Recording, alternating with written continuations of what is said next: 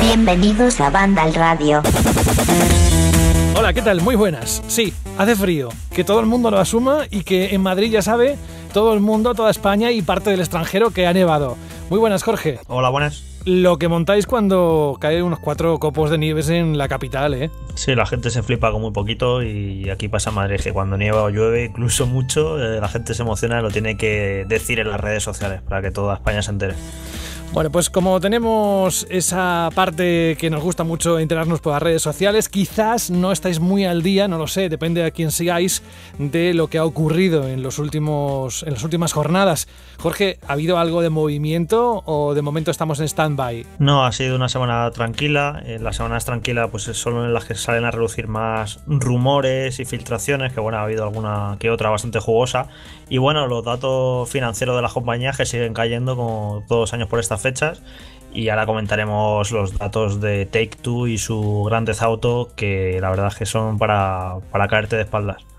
Bueno, pues mientras cogemos ese buen ritmo que nos gusta cuando nos acercamos a eventos como el E3, donde incluso hay alguna noticia donde vamos a repasar dentro de un ratito en nuestra sección de actualidad, alguna noticia referente al E3 y asistencia de una compañía que queremos mucho.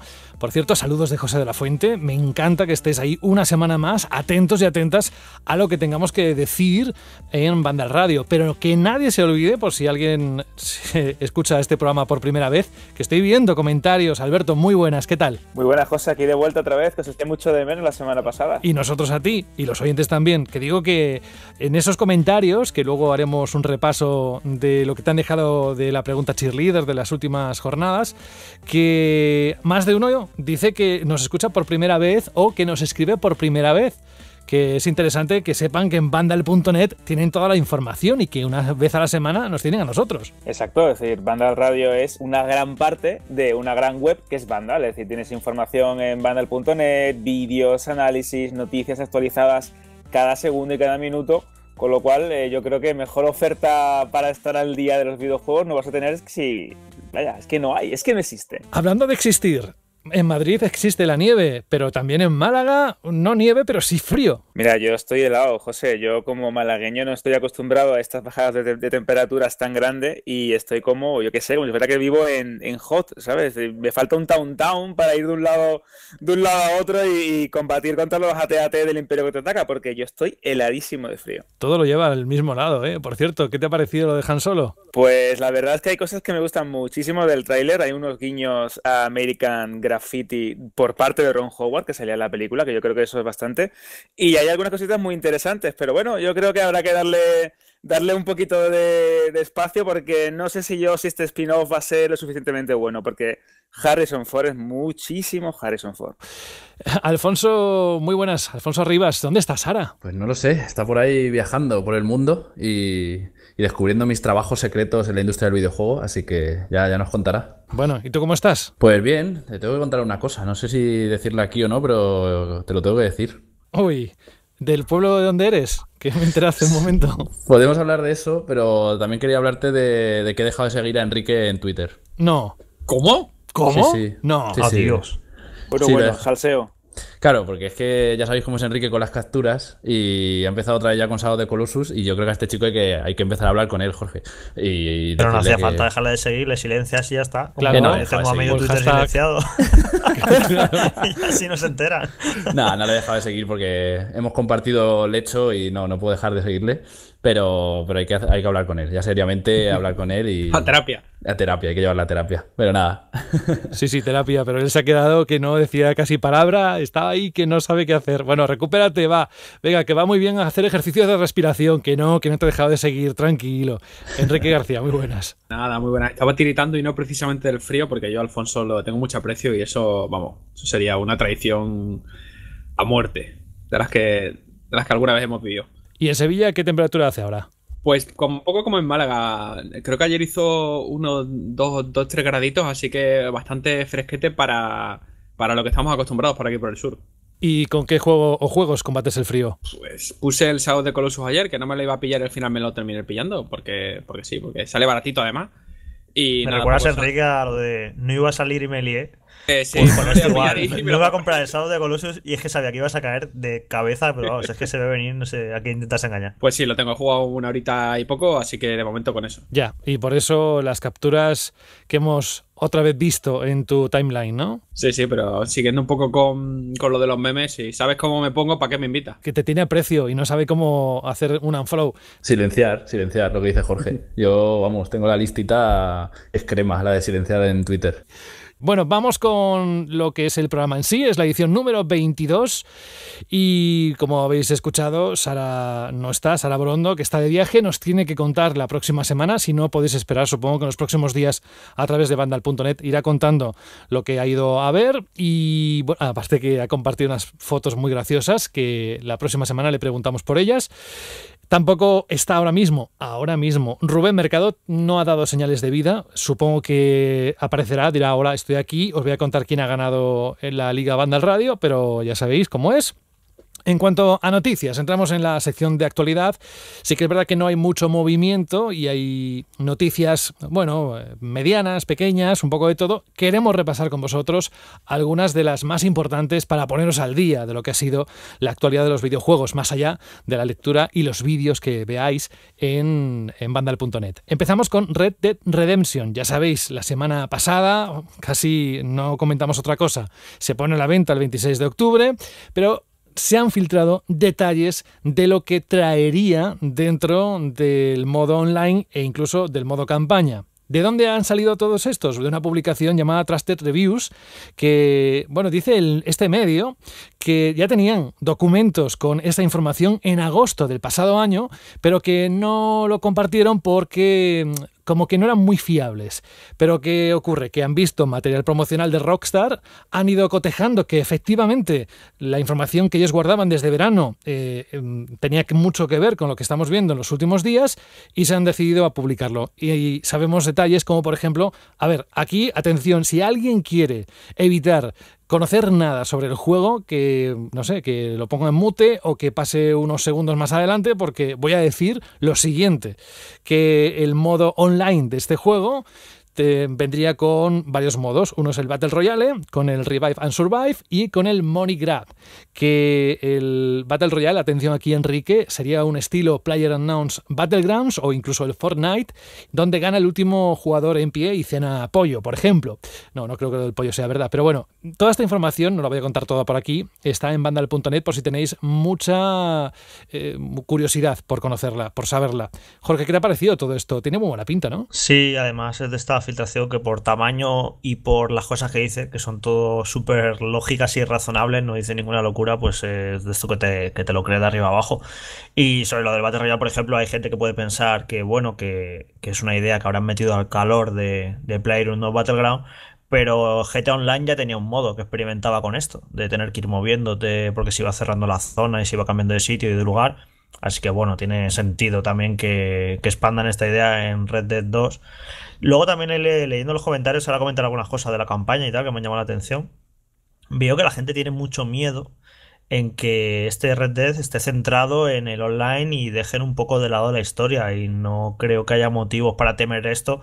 De hecho, todo lo que se ha mostrado y se ha hablado del juego hasta el momento está todo centrado en la campaña, no se ha hecho absolutamente nada del online y evidentemente que va a tener un modo online súper ambicioso y enorme y que quieren hacer una pasta como han hecho con GTA Online.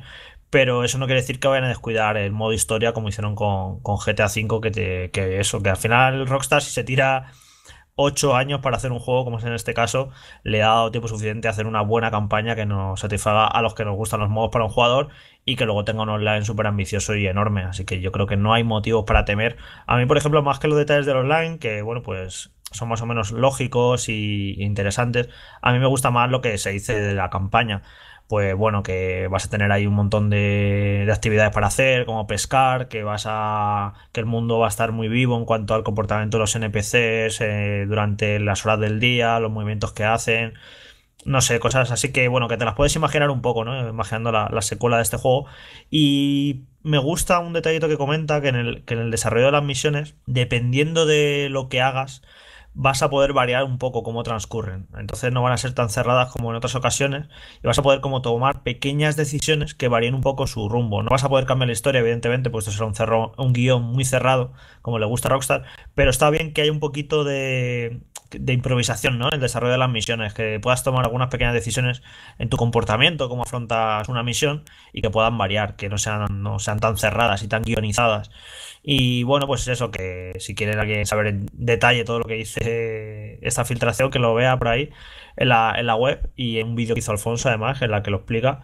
Pero bueno, que evidentemente tiene muy buena pinta todo esto que hablan, pero lo que queremos es verlo, verlo en acción y ver cómo funciona todo esto que comenta. ¿Y al resto qué os parece? Bueno, pues yo estoy un poco con lo que dice Jorge. Yo creo que al final lo comentaba hace poco el, tema de los Battle Royale y hay que estar ahí. O sea, creo que, es una jugada muy buena por parte de, de take hacerlo y de Rockstar en este caso, porque, porque es lo que está moviendo ahora mismo el mercado del multijugador. Entonces tienes el mundo, tienes las herramientas y creo que puede ser algo bestial. También he oído comentarios de, bueno, esto va a venir aquí, se va, va a tirar por suelo Player Unknowns. No, no nos liemos la manta a la cabeza porque estamos hablando de que Player Unknowns básicamente tiene todo su mercado en PC, es la comunidad más grande.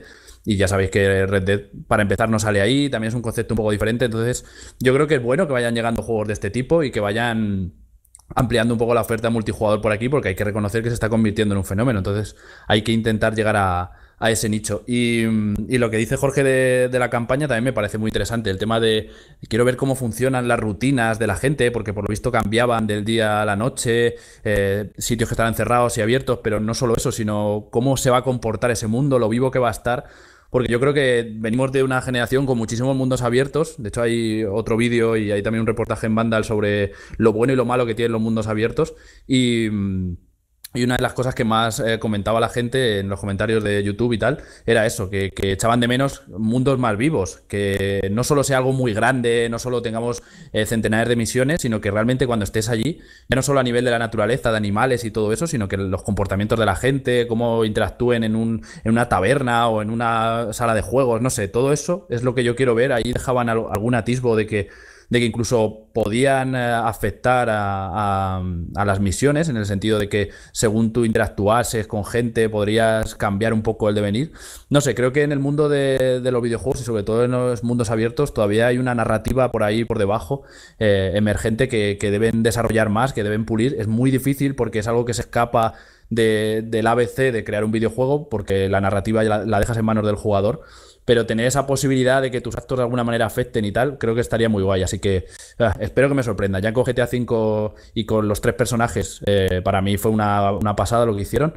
Y yo creo que aquí se van a sacar algo de la manga. Lo que dice Jorge, lleva mucho tiempo desarrollando este juego y creo que es hora de que cuando salga no solo sea Red Dead Redemption 2, sino que cambie un poco también el, el género de los mundos abiertos. Yo lo que creo que, puede ser, eh, puede marcar una pauta a la hora de, entender los conceptos de mundo, de mundo abierto después de, este juego de Rockstar, es precisamente uno de los, de los aspectos que, se había filtrado ¿no? en, esta, en este destape de, información sobre el videojuego y eran los eventos aleatorios. Estamos hablando de que sí, que en una ciudad como la de GTA V pues es habitual que veamos misiones raras, persecuciones o que te, te pida un personaje que lo lleves de un lado a otro pero en un mundo más rural, más salvaje, con bosques, con montañas, con eh, asentamientos y puestos fronterizos como el del oeste de este, de este título, creo que puede funcionar muy bien. Ya sabemos que sí, que va a haber eh, eh, fauna salvaje, que vamos a tener osos o que tendremos un montón de animales que son los habituales en el, en el género de, ambientado en, el, en un bosque, ¿no? En, en lo rural.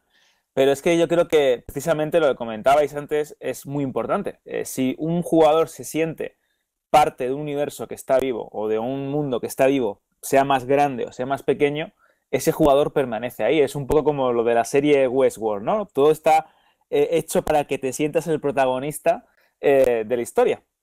Pero si ves que hay algo que no te cuadra o que sientes que todo es, es como un poco rollo parque de atracciones o que es todo decorado de cartón piedra, te echa un poco para atrás. Y eso yo creo que es eh, lo que Rockstar consiguió hacer bastante bien eh, con Grand Theft Auto 5, si bien tenía ejemplos anteriores que ofrecían más eh, oportunidades o posibilidades al jugador que lo involucraban más. Yo creo que con este Red Dead se va a conseguir precisamente eso, que te sientas el eje de la partida, que te sientas el protagonista, pero que al mismo tiempo seas una parte más de un mundo más grande o de un universo más grande que yo creo que puede ser el sentimiento de aventura que se busca con este videojuego del oeste. Lo que has dicho, es lo que Alberto, más tengo ganas. de los eventos estos aleatorios y demás. Ya lo hacía el primer Red Dead, me acuerdo, que, Sí, sí, que podían que te pedían ayuda, te acercabas y te tiraban Es del cierto. caballo Es cierto, es cierto. y ayuda a la gente por ahí y demás, gente secuestrada que te encontrabas de repente. Y yo creo que hay, hay mucho margen de maniobra y de mejora. Estoy seguro que es una parte que va a potenciar muchísimo en este juego, que evidentemente va a tener una historia muy elaborada, con unos personajes muy bien construidos y demás, muy guionizado todo. Pero luego, entre se- lo demostraba el primer Red Dead, que se puede hacer perfectamente, entre esos viajes entre misión y misión y cazando animales exacto, que el juego te sorprenda con un montón de eventos aleatorios, de cosas que no te esperas, de historias emergentes ahí que, que han escondido para que te las encuentres más tarde o más temprano, pero que te sorprenda porque que te van a surgir en cualquier momento. Yo, de hecho, en Red Dead me acuerdo que muchas veces eso me sorprendía porque a lo mejor iba a un sitio o a hacer una misión y de repente surgía una pequeña aventura de la nada por eso, porque me, me asaltaban o intentaba ayudar a alguien. Y bueno, pues eso, claro, era el año 2010, eh, lo hacía medio bien. Pues imaginaos ahora con, con todo este tiempo que ha pasado y lo que ha aprendido Rockstar, esa parte del juego en concreto se puede potenciar de una manera increíble. Yo lo que quiero disfrutar, aparte de una buena historia, que lo di por hecho en un juego de Rockstar, es por el hecho de eh, disfrutar eh, explorando su mundo, cazando animales, durmiendo bajo las estrellas con una fogata y que me pasen cosas por ahí, aventuras, ¿no? Un poco ahí... Pues yo es evidente que Rockstar va a hacer un trabajo excepcional a nivel de, a nivel de desarrollo argumental, de trama y de, personajes. Y yo la parte de la campaña eh, me, me- entusiasma mucho, pero hay otro punto que lo habéis comentado antes, que es el tema de, de Red Dead Redemption 2 Online. O, viendo el precedente que tenemos con GTA Online, que ha demostrado que Rockstar podía hacer eh, mundos online que fueran capaces de atrapar eh, a jugadores, y no solo atrapar a los jugadores, sino atrapar también a su cartera. Eh, me, me entusiasma mucho a ver lo que pueden hacer con este, como bien tú puedes saber, José, con este Battle Royale que, que tienen ahí bajo la manga, porque el hecho de estar con, no sé, 50, 100 personas en una misma partida, eh, 100 vaqueros, cada uno con su, que si cojo caballo, que si cojo armas, que si no sé qué, que te suelten ahí en pañales y, y a ver quién es realmente el más rápido del oeste, puede tener muy buena pinta. Y que imagínate, Enrique, que estás ahí medio agazapado y te aparece un oso por detrás Sí, sí. y te pega un zarpazo. Que eso es algo que no he visto de momento en los Battle Royale más importantes. Sí, no, hay, no hay- animales no- por ahí. no- dando no por es que no hay animales, es que no hay. Vamos, no han metido todavía Pues los Battle Royale lo gracioso proceso. que puede ser en una partida que de repente estén ahí varios vaqueros y aparezca un osito por ahí corriendo. Sí, o sea, se pueden dar unas situaciones que pueden ser geniales. Bueno, dejamos Red Dead Redemption 2, estas filtraciones. Ya podéis subir el volumen si habéis hecho un mute. No creo que hayáis hecho mucho, porque esto os lo vais a encontrar día sí día también en cualquier red social o vete a saber en cualquier página.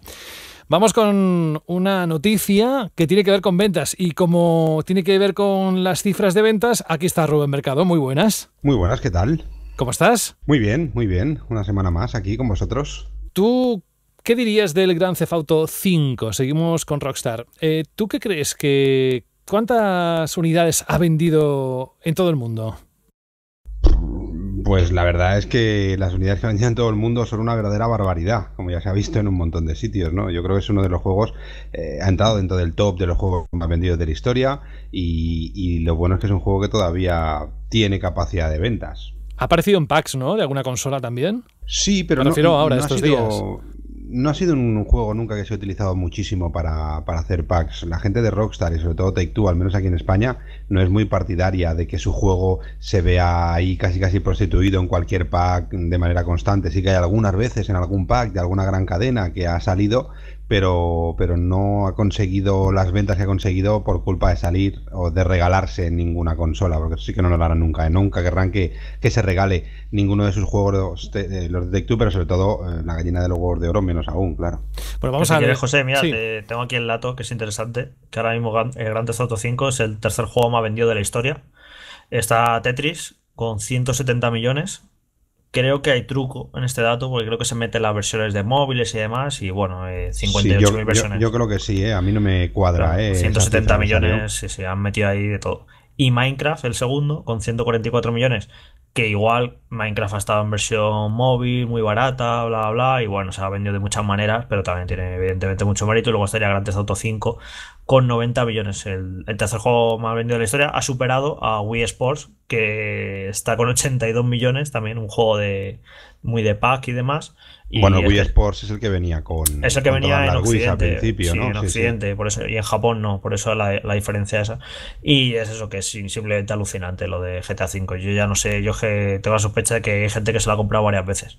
Yo sí que eh, hay que decir que es el juego físico más vendido de la historia de los videojuegos. Es decir, ahí hemos visto Tetris que puede ser cualquier formato para móvil y tal, en las diferentes gran cantidad de, de plataformas en las que ha salido. Eh, Wii Sports, bueno, pues es- tiene ese truco que aquí todas las consolas que se vendieron en Europa, que fueron muchas, muchas, muchas, muchas, venían con ese juego incluido y luego ha salido suelto, pero bueno, las ventas físicas han sido más o menos así. Eh, pero Grand Theft Auto 5 estamos hablando de un juego eh, en, una última plataforma de, de- nueva generación, en formato físico, que sí que se habrá vendido mucho digital también, pero yo creo que ese juego va a ser muy difícil quitarlo del podium del juego con formato físico más vendido de la historia. Y es que sigue vivo, y es que sigue semana tras semana estando dentro de los 10 juegos que más venden. Si no es dentro de los 5, es dentro de los 10 juegos que más venden. ¿eh? Es decir, que yo creo que le queda cuerda para rato. a Es que en Grand Theft Auto 2017 ha vendido 15 millones. es que es uno de los juegos más vendidos del año. O sea, ha vendido más que casi cualquier AAA que ha salido este año, como puede ser, yo que sé, Battlefront 2 o lo que sea. O sea Sí, que lo, lo hemos visto, ¿eh? las listas de ventas en el top 5, eh, en un 70 o un 80% de los top 5 que, que decimos aquí en cada programa, estaba Grand Theft Auto y, y con unas cifras normalmente todas las semanas como muy estables, ¿no? Es, normalmente los juegos eh, veis que se venden muy bien la primera semana, luego bajan bastante, como veremos también hoy, por ejemplo, en las ventas que hablaremos hoy, pero es que Grand Theft Auto 5, por supuesto, se vendió muy bien, pero lleva unos 8, 9, 10 meses que tiene unas ventas semanales constantes, constantes y constantes, que también es un poquito de, de éxito por parte de Take Two, porque para que haya eso, no solo tiene que ser, el título tiene que ser bueno, sino tiene que ser fácil de encontrar en cualquier punto de venta donde vayas. Y Grand Theft Auto 5 es bastante difícil de no encontrarlo cuando quieres comprarlo, ¿no? Y eso también es un éxito por parte de la cadena de distribución o por Take Two en este caso, vamos. Bueno, vamos a leer la noticia que aparece en vandal.net y es que Strauss Zelnick, el consejero delegado de Take Two, ha anunciado ante los inversores que Grand Theft Auto 5 ha superado ya los 90 millones de unidades distribuidas y que atribuyen en buena parte a las versiones de PlayStation 4 y Xbox One. Además, han dicho que el modo en línea, el Grand Theft Auto Online, ha tenido un diciembre gigante y que los ingresos que genera siguen creciendo año tras año gracias a sus microtransacciones. Si además tenemos en cuenta, si recordáis que lo dijimos en Vandal Radio, que en noviembre se había anunciado que este juego había distribuido 85 millones de unidades de, de copias, pues si calculamos así rápidamente, mm, hemos eh, contado que en la campaña navideña, Rubén, habría vendido unos 5 millones adicionales de copias. No, lo digo, lo que digo, una barbaridad, una barbaridad, la fuerza que tiene Grand Theft Auto. Incluso en un momento en el que parece que solo existen lanzamientos y novedades, eh, ha sabido hacerse allí un hueco dentro de los juegos más vendidos de toda la Navidad. Un juego que no ha salido este año, eh, que, que no ha salido esa campaña de Navidad, que ha salido hace ya muchísimos meses y que pelearse cara a cara contra FIFA de este año, contra el Call of Duty de este año, estar por encima de Assassin's Creed, estar por encima de muchos títulos que han salido este año como lanzamiento, yo creo que solo lo ha conseguido. Yo no recuerdo un título que haya conseguido eso durante tanto tiempo, ¿no? Y, bueno, Rockstar, pues, estar ahí frotándose las manos, ya no solo con las ventas eh, físicas del juego y, y digitales, sino también con los micropagos que han conseguido crear una comunidad ahí que le está rindiendo muchísimo, muchísimo, muchísimo, vamos. Vamos con otra noticia. Esta vez nos centramos en Bandai Namco y en los juegos Ridge Racer 8 y en Metroid Prime 4. En cuanto a lo del Ridge Racer 8, pues los rumores vienen a través de un currículum en LinkedIn de un trabajador de la compañía, Sean Pittman, diseñador jefe de Bandai Namco en estudios en Singapur, y en el que en este currículum se menciona un juego de acción y aventura en primera persona sin título y que sería exclusivo de Switch. Go Nintendo, la publicación ha corroborado que esta información es parte del currículum de Pittman y que estaría refiriéndose a, este juego. Y además, eh, los rumores también sugieren que un estudio de Bandai Namco estaría implicado en el desarrollo de Metroid Prime 4. ¿Qué os parece? Yo lo que me, sorprende es lo del Ridge Racer, que cuando escucho una nueva entrega de Ridge Racer pienso que ya eh, nos vamos acercando al lanzamiento de una nueva plataforma o, de una generación de plataformas, ¿no? Yo creo que es el juego que siempre acompaña casi siempre a los lanzamientos de nuevas, de nuevas generaciones, ¿no? Es decir, que escuchar Ridge Racer 8, en mi mente escucho PlayStation 5, no sé los demás. Sí, era una tradición que siempre Bandai Namco sacaba un Ridge Racer cuando se ponía una consola a la venta y luego lo hicieron en esta generación. Tiene bastante sentido Ridge Racer 8 en Switch exclusivo porque es, el, es una consola que no tiene prácticamente juegos de coches. Entonces es un género en el que cogea y pues está es un movimiento inteligente para de Bandai Namco puede decir vamos a sacar un buen juego de coches para Switch porque como no hay demasiados pues eh, si, si quieres un gran juego de coches, pues vas a tener ahí tu Ray Racer 8. O sea que tienes un movimiento con, con muchísimo sentido. Y lo de Metroid Prime 4, pues bueno, Metroid Prime 4 se anunció en el E3, pero no se dijo quién lo estaba haciendo. Es la gran incógnita, todavía se desconoce. Y bueno, lleva habiendo eh, semanas de rumores que dicen que lo podría estar haciendo Bandai Namco, que tiene una gran relación con, Nintendo desde hace unos años. Hay que recordar que el último Smash Bros. de Wii U lo hizo Bandai Namco, o sea que tiene toda la lógica del mundo que puede que estén haciendo eh, este Metroid Prime 4. A ver si en ese también rumoreado Nintendo Direct, que se producirá ahora en febrero, posiblemente a mediados, la semana que viene o la otra pues dicen algo, pero sí que es curioso, ¿no? Que anunciaran el juego, pero no dijeran, no dijeran quién lo estaba haciendo. Y otra noticia que puede alegrar a más de uno y una es el Call of Duty Black Ops 4. Porque según rumores, también, atención, ¿eh? subrayamos lo de rumores, llegaría esta vez a plataformas como el PC, PlayStation 4, la One y Switch.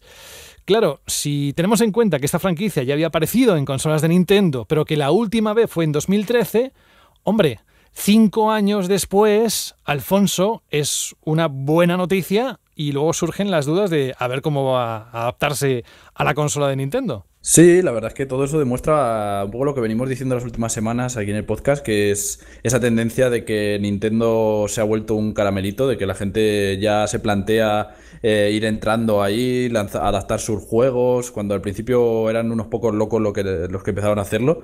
Eh, y claro, con el nivel de ventas y cómo está funcionando, pues cada vez vamos a verlo, a verlo más.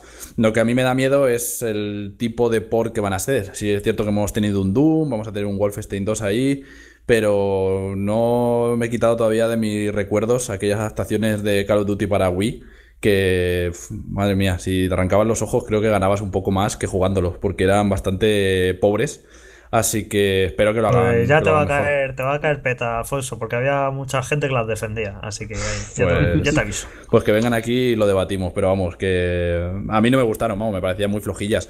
Y espero que no, que no lo hagan así. Vamos, que si sale el título en Switch, que los que vayan saliendo estén a la altura de, la consola, no solo por sacar dinero saques ahí tu licencia. Que de hecho, esas adaptaciones las hacía Treyarch. O mm, sea que todo, claro, todo cuadra. Este año toca Call of Duty de Treyarch y precisamente Treyarch era la que se las apañaba para hacer esas adaptaciones a Wii. Así que sí que no me parece nada, nada raro que, hagan ahí equilibrismo y adapten su Black Ops 4 a, Switch. De hecho, ya en varias filtraciones, ya no solo la que apareció en Twitter, esta que hablaba de que iba a ser, que iba a estar ambientado en la actualidad, de que se iban a dejar de los saltos y los exoesqueletos, sino que iba a ser como eh, un Call of Duty más Modern Warfare, por así decirlo, que los anteriores estos ambientados en el futuro, pero es que ya dejaban claro que sí, que iban a aprovechar la vibración HD en Switch, que iban a utilizar los controles por movimiento de los Joy-Con, es decir, lo que es los sensores de movimiento de los Joy-Con, y que iban a intentar que fuese una versión adaptada a la consola, a la consola híbrida de Nintendo. Y, creo que blanco y en botella, ¿eh? Sí, y además si Black Ops 4 es guerra contemporánea más o menos, que tendría sentido porque ya le pegaron el tirón de orejas eh, a Activision con Infinite Warfare, con lo de la guerra futurista, y ya no van a ir por ahí. Yo creo que me parece muy probable que sea una guerra más o menos contemporánea. Eh, Battlefield 5 pues también estoy seguro que va a ser esa guerra más o menos contemporánea. Así que va a ser curioso porque este año, tanto Call of Duty como Battlefield, yo creo que van a tener una ambientación muy similar. Sí, sí, sí, muy similar. Así que va a ser un duelo totalmente, juego contra juego, misma ambientación.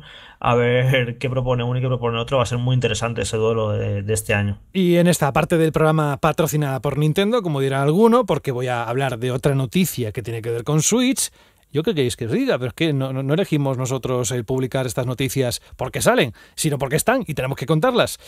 Un nuevo rumor. Venga, seguimos con rumores. Y esta vez tiene que ver, centra, el epicentro está en Crash Bandicoot Insane Trilogy. DHX Brands, una empresa especializada en publicidad y merchandising, asegura que Activision tiene planes para este juego, para esta franquicia muy querida y que ha funcionado muy bien este verano, durante los próximos cinco años. ¿Eh? Así que vamos a tener durante cinco años noticias de Crash Bandicoot, mm, bueno, supongo que nuevas entregas, y que va a ir a otras plataformas. Así que si una fórmula funciona, Rubén, y ha tenido unas buenas ventas, vamos a seguir por ahí. Por supuesto, aquí se suma a todo. Eh, una fórmula que ha funcionado en una plataforma y unas plataformas que van creciendo de manera brutal, con lo que, ¿por qué no? Vamos a continuar, ¿no? Yo creo que, que Crash Bandicoot ha, ya ha transformado un poco, ya ha pasado esa barrera solo del software, sino también la cantidad de merchandising que se va a poder encontrar y que se está presentando ya. También da que ver que Activision eh, va a aprovechar muchísimo el tirón de esa licencia, vamos. Aquí la noticia es para Enrique, el titular siguiente de La Suegra 2, que va a llegar a 2019 en consolas y PC. Lo ha anunciado Focus Home Interactive y Deck 13. Se dice, Enrique, que esta secuela va a mantener los puntos fuertes del original, un nuevo entorno, una ciudad devastada con diseño más ambicioso, porque va a tener un motor gráfico mejorado.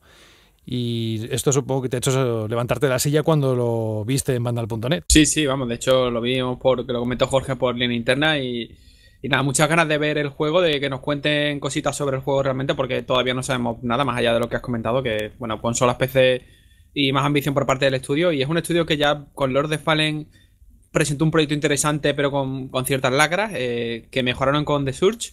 Y que yo creo que esta segunda, bueno, esta segunda parte va a ser, segunda parte, tercer título de, del estudio para esta generación va a ser ya un poco la, casi la, no te voy a hablar de perfección, pero bueno, van a a perfeccionar su fórmula y yo creo que pueden dar mucho de sí y bueno, yo creo que dentro de unos días podremos saber cositas, espero. El combate dicen que será más brutal y táctico que nunca, que habrá más habilidades, armas, implantes, drones y que van a ofrecer un arsenal amplio para que podamos elegir bien nuestro personaje y le podamos dotar de recursos ante diversos enemigos y jefes.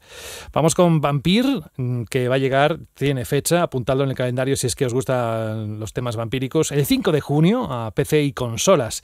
El dato además proviene del último vídeo publicado por Dot Not, los creadores de Life is Strange.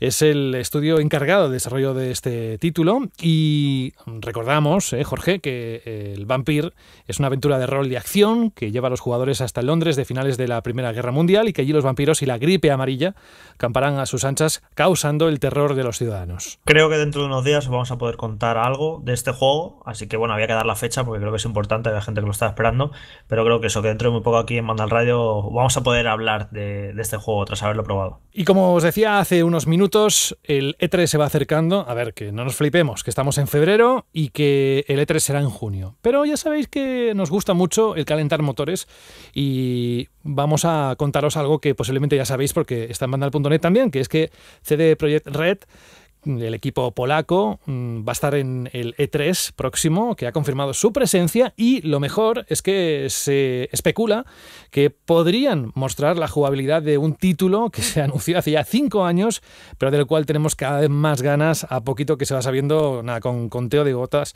eh, los detalles. Es el Cyberpunk 2077.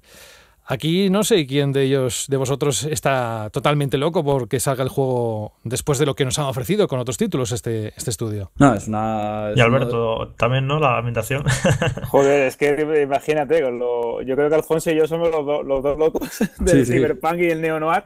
Y yo creo que, que las ganas son muchas. Y a, a cada noticia, José, es que estamos hablando de que si van a buscar las mejores animaciones posibles, la iluminación más fotorrealista, la más compleja, y eso en un videojuego ambientado en el futuro creo que puede ser absolutamente definitorio. Que si eh, un sistema de conducción muy complejo, muy ambicioso, es que cada noticia que se va, se va filtrando van, o van haciendo alrededor de Cyberpunk, yo creo que es más grande que la anterior. Así que las ganas son muchas y vamos a ser conscientes no hay nada, no hay, hay muy pocos juegos que lleguen al nivel de The Witcher 3, con lo cual, eh, teniendo en cuenta lo que lleva en desarrollo este título, quiénes están detrás, la ambientación, la licencia de los juegos de rol tan buenos de Cyberpunk en, su día, yo creo que aquí tenemos uno de los candidatos a mejor juego del año en el que salga. Sí, no, está claro. Y además en el E3 ya son muchos años esperando a que apareciese. Me gustaría ver quién se va a llevar eh, ese premio, si se irá a la conferencia de Microsoft, si se irá a la conferencia de Sony, no sé dónde, dónde irá. Pero sí, sí, hay muchísimas ganas. O sea, igual que The Witcher es un juego que me encanta, pero no soy, ya siempre lo sabéis, de ambientación de espada y brujería no es mi favorito. Pues cuando ya hablamos de futurista y todo, va a volverse loco. Entonces yo creo que solo gameplay de Red Dead pueden eclipsar un poco a Cyberpunk, pero, pero vamos, va a estar ahí. Yo creo que va a ser de esos juegos que, que cierren ya la generación. Yo creo que son de esos títulos, como dice Enrique por ahí, que, van a acabar con, con, las consolas actuales y van a demostrar lo que eran capaces de hacer eh, desde que salieron en su momento, claro. Yo recuerdo cuando vi The Witcher 3 por primera vez en el L3, cuando lo presentaron, una demo a puerta cerrada con la gente de Projekt, además es muy maja y muy simpática. Y me acuerdo perfectamente porque quedé de lo impactado que quedé. O sea, de ver ese juego era alucinante lo que nos enseñaron. Estamos hablando, no sé si sería el año 2013 o por ahí. Y a mí se me ha quedado grabado. Y yo sé que con, este nuevo juego buscan un impacto similar. Lo han estado escondiendo desde que lo anunciaron hace ya un montón de años. No se ha visto absolutamente nada. Y yo estoy seguro que cuando ya lo destapen, que va a ser en este 3, va a ser por todo lo alto. Seguro que nos van a dejar con la boca abierta.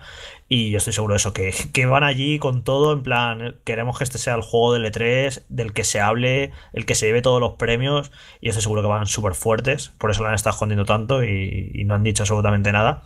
Y eso, ya tengo un motivo. Eh, para ir al E3. O sea, simplemente por ver este juego ya me va, a, me va a merecer la pena volver este año al E3. Yo lanzo una pregunta aquí al aire ahora, así en plan rollo mini debate interno. ¿Creéis que hará algún rollo Bethesda en plan de sale en tal fecha, que no sea demasiado larga, o no dirán fecha, o dirán no, yo creo que no. 2019 o 2020? Pero yo creo que 2000, van a decir, de, no se van a mojar en dar fecha, pero sí que van a decir, yo creo, 2019. Eso sí, yo lo doy por hecho. Yo sí que puedo deciros que yo eh, he visto un poco ya un plano muy, muy, muy primario de lo que va a ser el pabellón donde está Bethesda y donde estaban este año eh, Microsoft, donde estaba Activision, todo esto.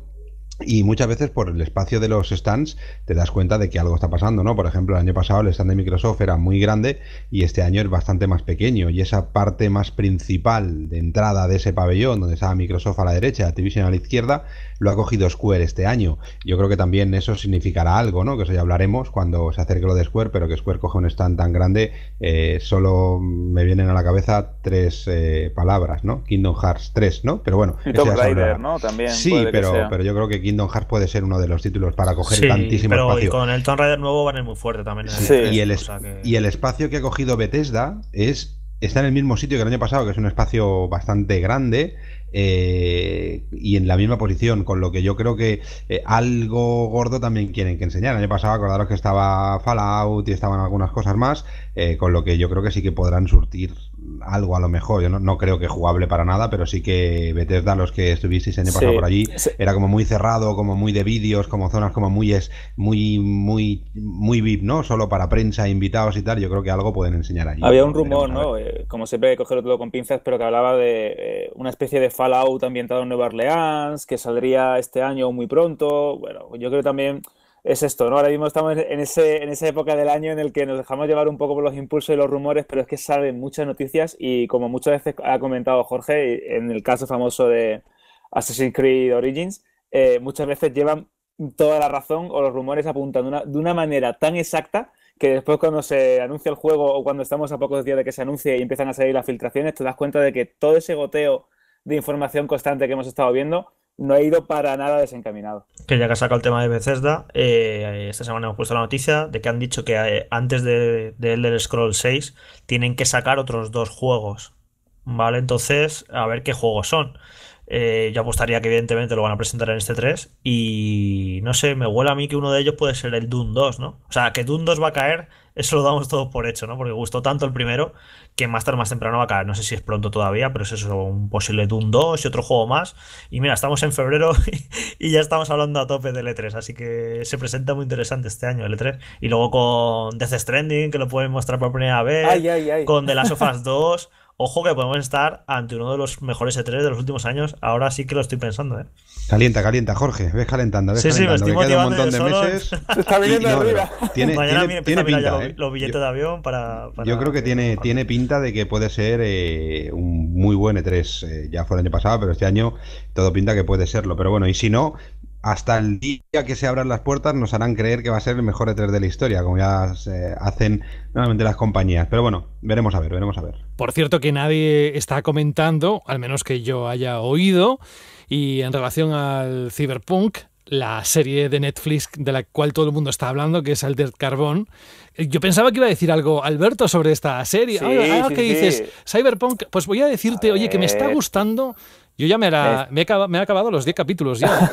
Yo empecé a verla ayer y aguanté tres minutos. Es lo que tiene tener un peque que, que intenta ponerte algo y no ves nada, ¿no? Pero tengo muchas Oye. ganas, ¿eh? Alberto, ¿qué tal? ¿Merece la Está, pena o no? está muy bien, está muy bien adaptada el, el libro de Carbón Alterado, eh, o Carbón Modificado, creo que se llamaba la última edición, y tiene, yo creo que es una de las cosas que más me fijo siempre en este tipo de, de- de cosas, unos niveles de producción que yo hacía años que no veía en, en- en una serie, a nivel de iluminación, de vestuario, de ambientes, es maravillosa. Pues yo no tengo un mico que me quite el sueño y te digo que me vi 20 minutos del primer episodio y me quedé dormido, ¿eh? Sí, te iba a decir, ¿eh? que yo ya conozco a varios casos de gente que se ha dormido y, y puede ser la misma gente que se dormía con la primera Blade Runner porque es un poco ese rollo... Sí, sí. un poquito ¿no? densa, ¿no? Sí, es para, que para vas- verla tranquilamente, disfrutarla, pero tranquilamente, ¿no? Sí, Para- sí, sí, sí. No, no es una serie que yo, por ejemplo, estoy por el capítulo 5 y ahí ya empieza como a coger un poco de ritmo, han pasado un par de cosas, pero es eso, o sea, cuando la gente me pregunta, digo, a ver, a nivel de producción, a nivel visual, es una pasada, lo que hacen con el color, con el HDR es de locos, pero ojo, eh, que, Netflix también la ha vendido así un poco como una serie mainstream y uf, eh, tiene su targetillo ahí, eh. Yo creo que tampoco es para todo el mundo porque eso le cuesta arrancar. E incluso yo debo confesar que en el primer capítulo también me dormí. O sea que, ojo Yo, eso. os parece algo lento, reto a lo que hice yo el domingo pasado, que me puse Los Siete Samuráis de Akira Kurosawa, tres horas y media, y luego después de ver eso, eh, me decís si algo es lento o no es lento. Yo Pero lo, tu- lo tuyo es de traca, ¿eh? Seguro que te viste los Goya antes también para terminar. No, No, no soy tan masoca. No veo los Goya para ver una gala de premios de la que nadie ha visto las películas. Es que me, me parece súper curioso este fenómeno, ¿no? Que la gente ve la gala de los Goya, y, pero no ha visto ninguna de las películas nominadas. Pues no, no, no veo los Goya, la verdad, no soy tan, tan masoca. Pues a mí me ha gustado mucho, muchísimo. Sobre todo el nivel de producción que tiene esta serie es de locos. O sea, los A efectos... pesar que decías la gala de los Goya. No, no, también de locos. También de locos aguantar los chistes de, de la pareja, pero bueno, en fin, que. Vamos con los creadores del remake de Shadow of the Colossus, Blue Point Games, porque han publicado una oferta de trabajo en la que buscan un ingeniero gráfico para explícitamente, lo ponen, porque están inmersos en rehacer un clásico en sistemas de la actual generación, con lo cual parece ser que repiten después del Shadow of the Colossus con otro clásico que no sabemos cuál es, pero que se abren las apuestas a ver cuál creéis que puede ser. A mí me molaría, siguiendo en esa línea un poco, ya que han estado con Shadow of the Colossus, a mí me molaría un ICO verlo re- remasterizado en PlayStation 4, la verdad. Sí, así los tendríamos sí. todos. Yo creo que eh, va- van a apostar por eh, Siphon Filter, ¿no? El juego de acción de Sony que lleva muchísimo tiempo. Salió un- registro por ahí, sí. de Sí, que eh, había registrado Sony la marca en Europa. Exacto, en un ser. cajón que siempre se ha dicho que iba a volver, que eh, querían una saga de, de acción que pudiera, en- entre comillas, ¿no? Sustituir a Uncharted para dejarle un descanso. Yo creo Yo que puede que puede ser ser, el- como son expertos en remakes y tal, no sé, creo que puede ser el muy pedido remake de Demon Souls de PlayStation También, 3, que anuncian en este 3. No sé, mucha atención a esto porque después de ver el talento que, que han demostrado con Shadow of the Colossus, pues cualquier cosa que se planteen, no sé, ya toda, toda la atención. Sí, yo, yo hubiera apostado por un Metal Gear Solid 1, pero sí que es cierto que, claro, cuando tú te haces un remake como el de Shadow of the Colossus, al final eh, es fácil adaptar, me refiero, no tienes que cambiar mucho las mecánicas, el salto de Play 2 a Play 4 no es tan grande como un Play 1, y no sé, por eso te digo, un Siphon Filter o un Metal Gear, es que ya tienes que cambiar cosas Es de que la eso es hacer prácticamente Claro, un, juego, nuevo. Un Claro, juego claro. nuevo. Sí, sí, porque más. Bueno, sí, visualmente Shadow of the Colossus es un juego nuevo, pero la estructura, Exacto, las sí. mecánicas y todo eso se mantiene. Pero es que es eso. Tú ahora mismo juegas a Siphon Filter de la Play 1 y es injugable. Claro, o sea, claro. tienes que hacer un juego nuevo completamente. Y Metal Gear Solid 1 igual, lo tienes que rehacer de arriba abajo, la cámara, Claro. todo. De hecho, se, Jorge. se hace un eh, juego pero- prácticamente te cero. Sí, sí, sí. Te apunto una cosa, eh, recordáis el, el remake de Twin Snakes en, en GameCube que introducía las mecánicas de Metal Gear Solid 2 en, en el primer videojuego de, de Metal Gear Solid y se cargaba el juego, es decir, lo rompía por completo y la estructura real que es con las que se diseñó y se pensó el primer Metal Gear Solid eh, no funcionaba. Entonces, eh, imagínate que tienes que remaquear o hacer desde cero un videojuego que tiene una jugabilidad tan obtusa o tan clásica o tan eh, cerrada como el primer Metal Gear Solid, que en su momento nos parecía increíble, pero que realmente ahora pues no tiene mucho sentido. Creo que será más complicado y por eso llevas razón, que a lo mejor un título en el que ha pasado tanto el tiempo y, está, y era tan hijo de su tiempo, y nunca mejor dicho, como ese iPhone Filter, pues sea complicado y sería más fácil pues adaptar otra cosa o otro videojuego que no necesite de, pensar o rehacer el videojuego por completo a nivel jugable. Y acabamos ya la sección de noticias que está siendo larga. Menos mal que dije que no había muchas noticias y movimiento, pero nos han dejado cosillas que hay que decir. Y atención, porque esta es la más importante de todas y la que justifica los maletines que tenemos cada semana en la redacción de Banda al Radio, que es que Nintendo aclara que la cabeza de Todd no es un sombrero y los fans alucinan. ¿Esto de dónde viene? Pues del productor de Super Mario Odyssey, que es Yoshiaki Koizumi, que ha respondido a varias preguntas sobre cuestiones de, por ejemplo, ¿por qué Mario tiene pezones pero no ombligo?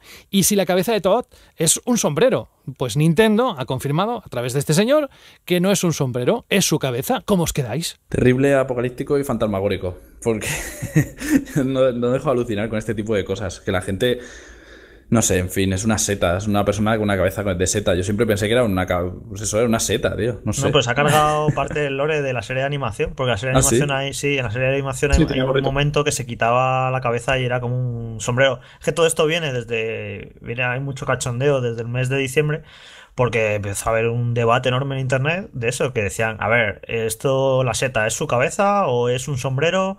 Porque dependiendo de en qué juego parecía una cosa, parecía otra, y al final han tenido que salir Nintendo a atajar toda esta información y dejar claro que, es su cabeza.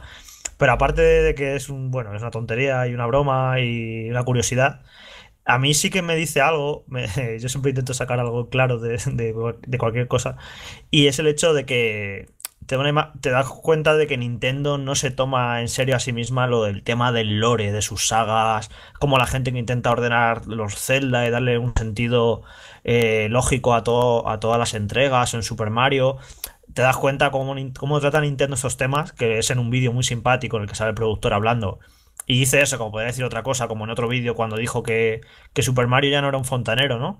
Pues te das cuenta que Nintendo es que le da igual el lore. O sea, ellos lo que, lo que quieren hacer son buenos juegos y todo estos detalles se lo toman muy a broma. Y creo que dicen mucho de, de la compañía y luego, evidentemente, pues ahí tienes el fan, que al fan le encanta pues especular y debatir sobre estos temas que te das cuenta que a la propia Nintendo no, no le importa lo más mínimo. ¿Pero Mario tenía pezones o no? Mario tiene pezones, claro, en, el Super Mario Odyssey, por eso... el ¿Y ombligo? Tiene ombligo, ¿no? Sí, ¿no? No sé, ahora miro la foto, pero que, la gracia del, traje de baño fue que, de hecho, yo le llamaba ya a ese traje el, Mario, Mario Pezones. Mario Pezones, sí, sí. Esto, esto va de mal en peor. Eh, bueno, vamos a cambiar de tema, dejamos ya la sección de actualidad, como os comentaba, y nos vamos a lo que en esta edición número 22 de Banda al Radio justifica el hecho de que el programa sea una llamada de atención a todos aquellos que estáis esperando saber por fin cuáles son los ganadores, los que van a recibir juegos por parte de la Liga Banda al Radio. Yo solo adelanto, por lo poquito que hemos podido intercambiar palabras hace un momento Rubén y yo, que va a ser bastante, bastante interesante. Bueno, lo primero de todo hay que decir que vamos a dejaros descansar una semana, que no va a haber reto para estos próximos siete días, ¿verdad? Pues sí, vamos a dejaros descansar, más que nada porque es que vamos a utilizar, necesitaremos bastante rato ahora, a ver, no os asustéis, ¿eh? los que tenéis que correr el, el tiempo y estas cosas, pero sí que tenemos tantos juegos, tantos ganadores y tantos retos y tantos récords que esta semana vamos a dejar tranquilos para que empecéis a pensar, coger fuerzas y la semana que viene empezamos con una nueva temporada de la Liga Banda al Radio. Venga, eso quiere decir que, que gracias, primero. Gracias a todos y todas los y las que habéis participado en las últimas semanas, semana tras semana, con los retos que ha ido poniendo Rubén. Lo vamos a seguir haciendo, como sabéis, pero nos vamos a parar para disfrutar de un momento que lleváis esperando tiempo y es qué juegos se van a regalar a través de esta edición y además quiénes os lo vais a llevar. Yo antes de nada, luego lo repetiré, no os preocupéis, que esto va a haber tiempo para que volváis otra vez a apuntarlos muy fácil. Los ganadores, las personas que se mencionen que hayan recibido un premio o que se llevan un premio, os ponéis en contacto con nosotros a través de radio.vandal.net, ¿vale? Radio.vandal.net, porque yo los correos según llegan se los derivo a Rubén y Rubén ya sabrá lo que tiene que hacer. Así que todo tuyo, caballero, deslúmbranos y luego vamos al top 5 ¿eh? de los más vendidos. Pues sí, exactamente. Luego iremos al top 5 de ventas. Hay que decir que tú ya has dicho gracias, yo también quiero decir eh, gracias porque hemos batido récord, 73 eh, personas eh, han participado en esta temporada de Liga Banda Radio, con lo cual es un reto.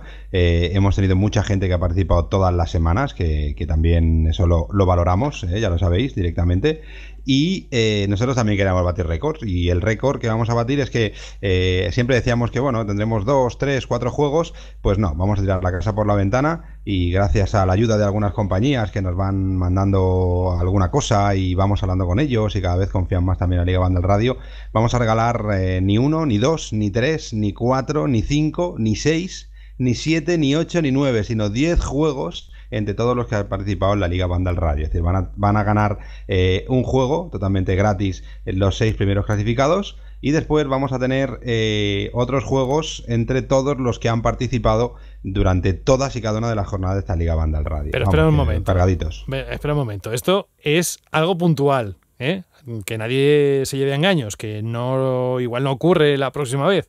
No, ya digo yo que, igual no, no, seguro que no ocurre la próxima vez que tengamos tantos juegos. También es verdad que como hemos tenido la campaña Navidad por medio y las compañías estaban con un poquito más de ganas, pues eh, tenemos ahí algunos juegos más. Además también hemos escuchado mucho a los usuarios y no solo van a ser juegos de PlayStation 4, sino que también vamos a tener juegos de Xbox One, algún juego de PC, incluso un juego de 3DS, eh, para que para que todos, eh, todas las plataformas estén bastante representadas o todas las consolas estén bastante representadas en esta Liga Vandal Radio, no solo PlayStation 4 como más de, de un usuario se quejaba en anteriores ediciones. Bueno, mientras tú vas ordenando los datos, que ya están a punto ya de, salir y, los vas a compartir con los oyentes, Jorge, esto es tirar la casa por la ventana, ¿eh? Ya ves, a tope, cómo vamos, ¿eh? De fuertes. Venga, pues a ver, los ¿qué vas a decir primero? Los ganadores, los seis ganadores que pues sí. más puntuación han llevado eh, desde que iniciamos esta última Liga Banda Radio, ¿no? Exacto, y empezamos por el número 6, el sexto usuario que ha participado en todas y cada una de las semanas de la Liga Banda Radio con 12 puntos es Jiraiya, que se lleva un Total War Warhammer 2 para PC. En quinto lugar, Optimus, eh, también con 14 puntos, que se lleva un Marvel vs. Capcom, eh, Marvel vs. Capcom Infinity para PC. En el número 4, también empataba puntos con, el 5, es decir, cuarto y quinto están en la misma posición, es Link que se lleva un Resident Evil Revelations HD para Xbox One.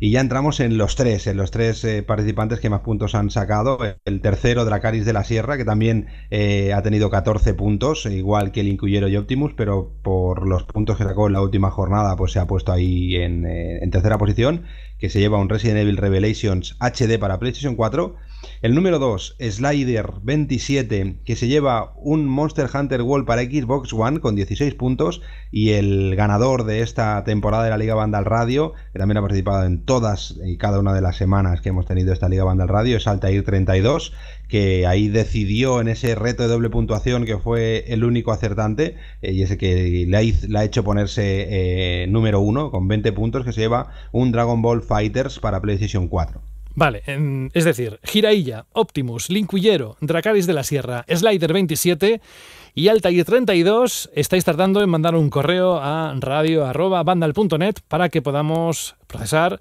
vuestros premios. Pero no queda ahí la cosa, como ha dicho, hay otros cuatro premios que se van a llevar ¿Quién es? ¿Esto es a través de un sorteo? ¿Cómo lo has hecho? Sí, esto hemos cogido de los de todos los que han participado, que no están dentro de los seis primeros, que han participado en todas las semanas de, esta temporada de la Liga Bandal Radio, que son el Manco, N. Croft, Puñales, Shiva Dylan, Ángel Bravo, J. Torre y Mr. L que a pesar de no estar dentro de ese top 6, eh, han participado en todas las semanas. Tenemos cuatro juegos, cuatro juegos que, vamos, a, que vamos a ir regalando. ¿no? Y aquí yo pido la ayuda de, mi niño, del niño de los números, para que me, para que me eche una mano a, escoger eh, quiénes son los ganadores de estos cuatro juegos que quedan de esa temporada de Levan del Radio, si no, si no le importa, claro. El niño de los números es Enrique, ¿no? El que siempre está conmigo. Yo es que decir nombres es como. Enrique, el 5, el 4, quiere estar el número 1, Rubén. es el niño de los números, Enrique. Pues sí, me ha vuelto a endosar el tema numérico. Ya sabes que hago el top con, con Rubén y me toca, según me has explicado, no darte un, varios números del 1 al 7, ¿no? Sí, vamos a, vamos a sortear esos cuatro títulos entre los siete participantes que están ahí como participantes que han estado todas las semanas. Eh, y bueno, tú eres, tú eres mi pit lady, tú eres la chica de, de, de la parrilla de salida que han prohibido, no entiendo por qué, pero para mí que no me lo prohíban porque tú me vas, me vas genial. Así que, venga, dejamos de ligar. Eh, necesito que me digas un número del 1 al 7, que será el que se va a llevar un Okami HD eh, para PlayStation 4. Ah, decir antes que soy mano inocente y no tengo conocimiento absoluto de, de los nombres que van a estar asociados a estos números, así que es mucha responsabilidad, pero bueno, un primer número del 1 al 7 te voy a decir el 5 sin premio. Pues el 5 es Ángel Bravo, que se lleva ese PlayStation 4 Kami HD. Eh, y vamos a por otro título más, que va a ser el Warriors All Stars para PC. Necesito que me digas otro número del 1 al 7, pero que no sea el 5. Vamos a hacerlo así para que sea ordenado, ¿eh? Pues lo voy a hacer random, voy a mirar a la pantalla y te voy a decir el 1. Pues el 1 es el manco que se lleva ese Warriors All Star de PC. Eh, ahora el siguiente que vamos a dar es el Okami HD para PC y necesitaré pues eso, un número del 1 al 7 que no sea ni el 1 ni el 5. Pues mira, acabo de mirar la pantalla del móvil y te voy a decir ahora el 2. Pues el 2 es N-Croft que se lleva ese Okami HD para PC y el último que va a ser el Etrian Odyssey 5 para 3DS, necesitaré que me des un número pues que sea el 3, el 4, el 6 o el 7. A ver, a ver, a ver, a ver. Venga, te voy a dar el 6, que me cae bien. Pues el 6 es JTore88, que se lleva ese último juego que regalamos en esta temporada de Liga Banda Radio, que se traían Odyssey 5 para 3DS. Así que ya los tenemos todos. Y si queréis volver a escucharlo, dais para atrás y ya está. ¿eh? No vamos a repetirlo todo, sois 10 ganadores. Eh, felicidades a todos ellos, pero en general felicidades a toda la comunidad de Vandal Radio que ha participado en esta liga y que además lo ha hecho con deportividad, sobre todo disfrutando, que lo que se trata es que añadirle algo más al programa de cada semana y bueno, a través de lo que es el sorteo, pues mira, algunos ha llevado un jueguico y porque eh, también tiene mucho tino, ¿eh? Alguno ha acertado Altair 32 para ser el número uno, ha tenido que acertar bastantes veces. Bueno, pues sí, acertó. Lo que pasa es que Altair 32 empezó muy bien, eh, acertó la primera semana, tuvo un pleno, la segunda semana bajó, la tercera semana no acertó nada, yo creo que estaba de resaca, la cuarta semana volvió a cogerlo un poquito con ganas y tuvo un acierto y donde mm, finalmente decidió fue esa doble puntuación que solo acertó él con 10 puntos y que lo puso ahí el primero, ¿no? Si no, los resultados eran discretitos. Por eso siempre digo que nunca hay que dejar de participar porque donde parece que lo tienes todo perdido, aparece una jornada en la que aciertas más que los demás y te vuelves a poner en cabeza. Ha estado todo súper apretado, vamos. Venga, hablando de apretados. Enrique, venga, vamos con el top 5. Venga, venga, seguimos. Eres el niño de los números apretado. Va, vamos con el top 5 de ventas en la semana. Recuerda qué semana fue, fue la semana pasada, pero... exacto, semana número 5 del 29 de enero al 4 de febrero. Muy bien, y empezando por... Pues por el número 5, estamos la cosa con los 5 hoy, ¿qué tenemos? Pues el número 5 vuelve a colocarse dentro del top 5 un juego para Nintendo Switch, es Mario Kart 8 Deluxe, con más de 2.700 unidades vendidas y ya sobrepasando las 180.000 unidades vendidas en formato físico ese Mario Kart 8 Deluxe para Nintendo Switch. Locura, locura. Número 4. Pues una nueva entrada, una entrada que, bueno, pues que yo no sé si tenía muy claro si iba a estar dentro del top 5, pero se ha colocado dentro del top 5 con más de 3.100 unidades vendidas en PlayStation 4. Eh, Dissidia Final Fantasy NT, un juego mm, peculiar y extraño, pero que ha sabido colocarse dentro de ese top de ventas de esta semana. Sí, un lanzamiento que ha pasado un pelín desapercibido, pero bueno, nos alegra que se haya colocado ahí. Que nos vamos al número 3, a ver si hay movimiento, hay novedades. En el número 3, la semana pasada estaba el número 5 y es eh, Call of Duty World War II para PlayStation 4, que ha vendido, no llega ni a 10 unidades más que ese Dissidia Final Fantasy, con lo que, bueno, dentro de lo que cabe, ese Dissidia Final Fantasy ha pasado desapercibido, pero ha vendido bien. Y está también con unas 3.100 unidades vendidas eh, y más de 450.000 unidades vendidas en formato físico, ese Call of Duty World War II para PlayStation 4. Y ya entramos en la recta final, número 2. Pues el número 2 y el número 1 se mantienen casi casi, bueno, se mantienen casi casi, no se mantienen como la semana pasada. Yo esperaba que esa semana Dragon Ball Fighters para PlayStation 4 pasara un poquito por encima de Monster Hunter World, pero no ha sido así. Esa esta semana en el número 2 está repitiendo posición, está Dragon Ball Fighters para PlayStation 4 con más de 6.200 unidades vendidas y ya llegando a las 25.000 unidades en formato físico vendidas en el mercado español. ¿no? Puede ser que también la venta digital, por según qué contenido, según qué luchadores hayan también hecho que bajen un poquito las ventas físicas, pero de momento el porcentaje es muy pequeño y yo esperaba algo más esta segunda semana de Dragon Ball Fighters. ¿Y ya el ganador, el número uno de la semana? Pues repite Monster Hunter World para PlayStation 4. La semana pasada también estaba, estaba ahí como, como número uno con 22.000 unidades y esta semana ha vendido 9.000 unidades. Es decir, que, que, ha vendido la mitad menos que en su primera semana de lanzamiento, que yo creo que está muy, muy, muy, muy bien para ser un título del estilo que es. Y yo creo que, los análisis de los diferentes medios especializados, entre ellos Vandal, eh, ha hecho pues que el que no lo tenía muy claro se haya decidido irse a la tienda y haya colocado este Monster Hunter World para PlayStation 4 en eh, número uno en ventas una semana más, ya superando las 31.000 unidades vendidas, que para ser un juego de este estilo yo creo que está muy muy bien y Capcom y sobre todo Coach Media como distribuidora aquí en España yo creo que tienen que estar más que contentos. Rubén, me llama la atención los números, me parecen muy bajos. Eh, es una semana especialmente mala en ventas, esta semana del año, eh, la cuesta de enero final, el principio de febrero, me han parecido unos números en total muy, muy bajitos. Las ventas de esta semana, es decir, estar dentro del top 5 esta semana, yo creo que es de las semanas eh, más baratas para poder entrar. Es decir, que es una semana muy, muy, muy sencilla de poder estar ahí, ¿no? Si comparamos un poco con con el año pasado es una semana en el que en el que bueno en el que también eh, las ventas de la semana pasada o del año pasado eran eran flojitas no, no eran no eran muy muy altas. Eh, salieron juegos como Hitman aquella temporada que era descargable y todo esto. Es decir que es una semana esta semana 5 esta primera semana de febrero es una semana que históricamente no tiene grandes lanzamientos con lo que con 3.100 unidades o con 2.700 unidades te pones dentro del top 5 cuando cuando lo normal es vender eh, los, el 1, el 2 y el 3 entre 15, 20, 17 mil unidades. Es decir, que los lanzamientos de esta semana, bueno, Final Fantasy, el Dissidia, se ha metido ahí. Yo creo que es un título justito, normalito, pero que, bueno, que con 3.100 unidades, un juego de PlayStation 4 se ha puesto número 4 en ventas, vamos. Pues Rubén, oye, que muchísimas gracias. Eh, te, nos abandonas, te tienes que ir. Así que antes de que te vayas, gracias, hemos dicho a los oyentes, pero no quiero dejar pasar la oportunidad porque esto a ver, ¿qué queréis que os diga? Pero el alma mater de toda la Liga Panda Radio, el que mueve los hilos, el que se deja la piel y las horas consiguiendo estos premios, leyendo vuestros comentarios, apuntándolo en listas, etcétera, y lleva tiempo, creedme, lleva tiempo.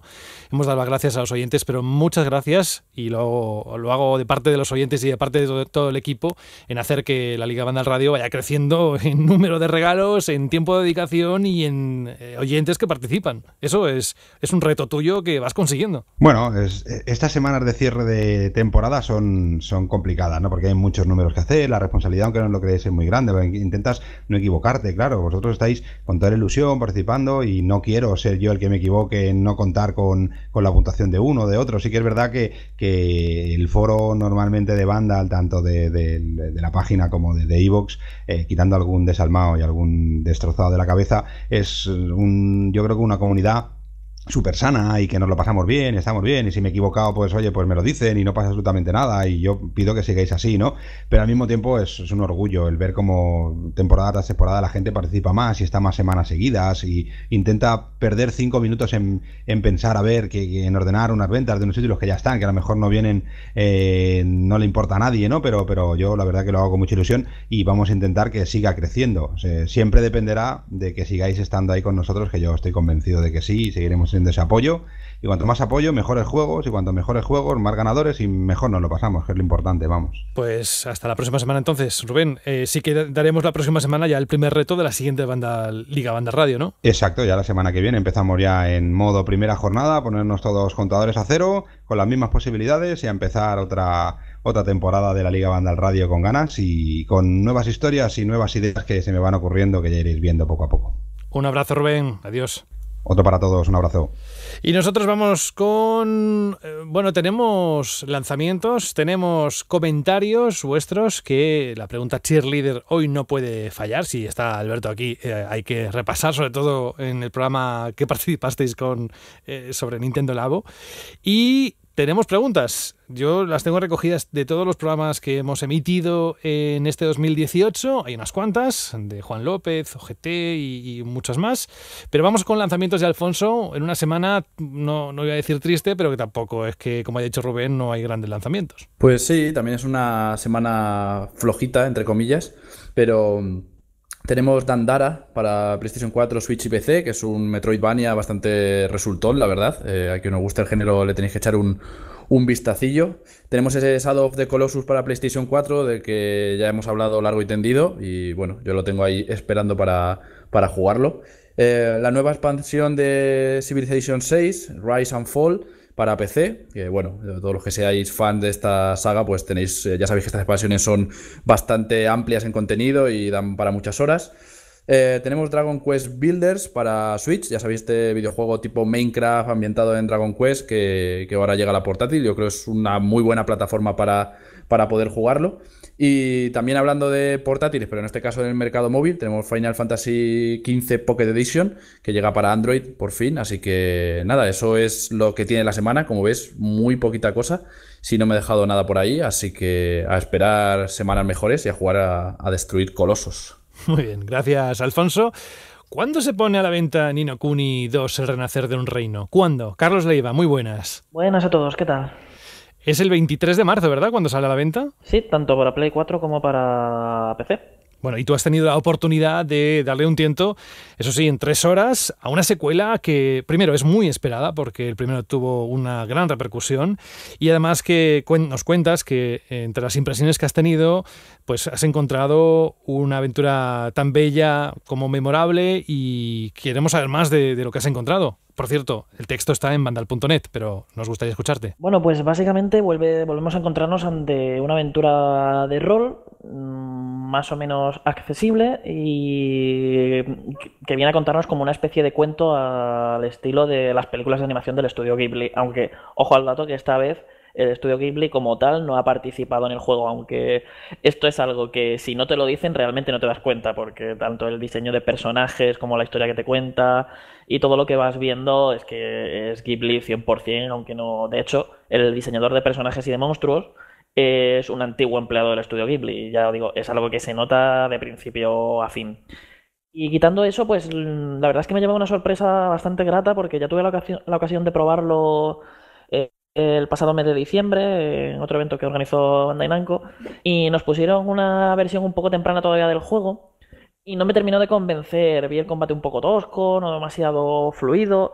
Y la verdad que esta versión, que ya es prácticamente la final, me ha, dejado muy satisfecho. Porque ahora las batallas son muy ágiles, que era uno de los grandes defectos que tenía el primer juego, que el sistema de combate era extremadamente simplón y no tenía mucha chicha ni mucha gracia. Y ahora pues lo han reconvertido y en vez de ser estar basado en la captura y coleccionismo y entrenamiento de, criaturas, eh, ahora es un juego de acción en tiempo real, a lo que a combate se refiere, en el que tú vas pulsando botones y vas haciendo ataques como tal, tienes que esquivar también en tiempo real, defenderte, utilizar habilidades, no sé, es muy dinámico, muy ágil, yo la verdad que las batallas me han resultado muy divertidas, además hay muchos tipos de, enemigos diferentes, por lo que siempre tienes que estar un poco cambiando el chip y la estrategia para, para enfrentarte a ellos. Además tiene como tiene varias capas de profundidad que al principio no las ves, pero a poco que vas jugando eh, ya empiezas a dejar de machacar botones y empiezas a hacer cosillas más interesantes y a gestionarte un poco los diferentes recursos que tiene. Por ejemplo, puedes equiparte hasta tres armas principales y cambiar de una a otra en mitad de una batalla. Lo que, pues imagínate, te da opciones a lo mejor un arma sea efectiva contra dragones, otra que sea efectiva contra otro tipo de monstruos, y claro, te va permitiendo adaptarte a todo lo que va ocurriendo. Y más detallitos que, bueno, que ya están todo. Me, podría aquí a tirar un buen rato explicándolos todos y ya está, ya los tenéis ahí escrito. Pero en general, ya digo, el sistema de combate, que, era, que es lo que más se ha renovado eh, respecto a la primera parte, que, fue uno de los grandes lunares del primer juego. Yo creo que en esta ocasión han sabido renovarlo por completo y hacer esta vez que las batallas sí que sean divertidas y emocionantes. Yo, Carlos, que me gustó mucho el primero, yo lo disfruté un montón, porque soy muy fan de Studio Ghibli, entonces ya simplemente por la estética y por la banda sonora ya me entraba muy bien. Luego me parecía un juego entretenido, que el combate se ha criticado muchísimo años después, aunque a mí me pareció que, bueno, pues era aceptable, no era un gran sistema de combate, pero tampoco me parece un desastre, más o menos me entretenía. Luego la historia tampoco me parece una maravilla, pero bueno, era lo suficientemente correcto todo como para que me mantuviera ahí pegado, yo que sé cuántas horas le dediqué, pues a lo mejor 50, 60 horas. Sabiendo que me gustó el 1 a estos niveles, eh, entonces el 2 eh, me tiro de cabeza por él en cuanto salga. Sí, sí, pero del tirón, yo creo que, yo creo que, vamos, que es como el 1, pero mejorando todo lo que en el 1 no terminaba de funcionar. Pero claro, aquí también estamos hablando de un juego que son 50, 60 horas, probablemente lo que dure, y que yo he tenido ocasión de probar 3. Entonces, ha dicho, eh, en una, he leído en una entrevista hace poquito que unas 40 sus creadores lo ponen como para pasártelo, así que bueno, para que nos hagamos una idea. Que es una hora muy estándar de los JRPG, me hace gracia siempre esas 40 horas, parece que las buscan a puesta. Y eso, y claro, nos queda por ejemplo por ver cómo, cómo va a ser la historia. Yo lo que he jugado de la historia es hiper sencillo, o sea, la parte que jugué es hiper sencillita y, y muy predecible pero no sé, está contada, está muy bien narrada, está muy bien escrito, está muy bien escrito los diálogos y la puesta en escena, eh, las conversaciones. Eh, no sé, tiene, tiene su encanto. Es algo sencillito, pero como te están contando un cuento y tal, los personajes tienen, tienen, tienen su encanto, tienen, son carismáticos y sobre todo funcionan mucho mejor eh, entre, cuando se relacionan entre ellos que por separado, que tienen las típicas personalidades hipermarcadas de, que suelen tener los juegos de rol japoneses, pero que luego se complementan muy bien cuando actúan como grupo.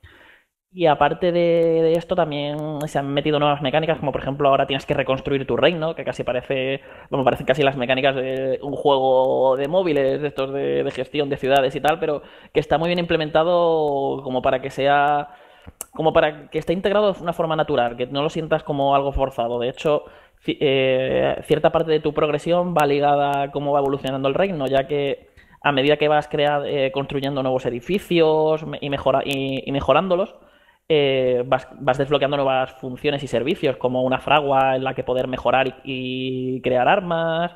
Y, vamos, incluso puedes llegar a fabricar, digo, a construir edificios que te permitan fabricar vehículos como un barco con el que te permita llegar a nuevos sitios.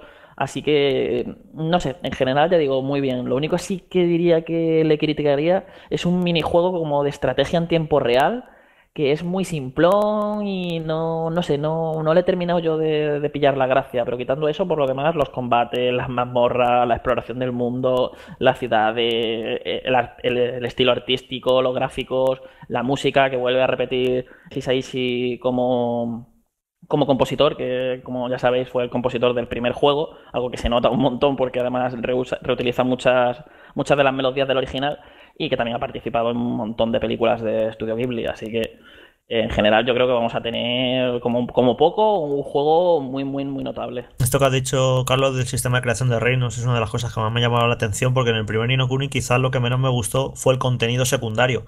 Como que las misiones secundarias o lo que podías hacer eh, fuera de la historia me parecía flojito. Y yo creo que, que ellos mismos lo sabrán y es algo que habrán potenciado en Inokuni 2, ¿no? Que aparte de la historia principal, que lo que puedes hacer alrededor de ella que sea interesante y variado. Y no sé, esto del sistema de creación de reinos, así en un principio me no sé, suena estimulante. Sí, de hecho, incluso gran, gran, parte del contenido secundario está ligado a esto, ya que hay mucha gente a la que puedes reclutar para que, eh, digamos, se vayan a vivir a tu ciudad y te, den nuevas funciones o te permitan conseguir muchos puntos de investigación en ciertos edificios. Y entonces, claro, te, mm, vas buscándolos por el mundo, encuentras a alguien, pero claro, esto es un, esto es un JRPG y lo mismo te encuentras a alguien y te dice, sí, sí, me voy para tu ciudad, pero primero encuéntrame mi estropajo milagroso. Esto, esto es literal, hay una misión en la que tienes que buscar un estropajo para que se te una uno a una ciudad. Y claro, lo mismo te, te lleva a una mazmorra que de otro modo no, habría, no habrías visto.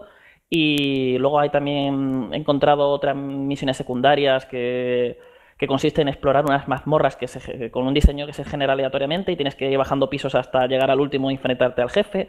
Pero mientras estás haciendo todo eso, eh, mientras más tiempo pase dentro de la mazmorra, más va subiendo el nivel de los monstruos. No sé, creo que esta vez en, contenido, va, en contenido va a ir mejor surtido y va, a ser más interesante y estimulante que el este, primero. Este detallito en concreto, Carlos, me ha tocado mucho la fibra porque mis JRPG favoritos, yo creo de todos los tiempos, son Suicoden 1 y 2. Y de lo que más molaba de Suicoden era el hecho de que te creabas tu castillo y ibas reclutando miembros ahí.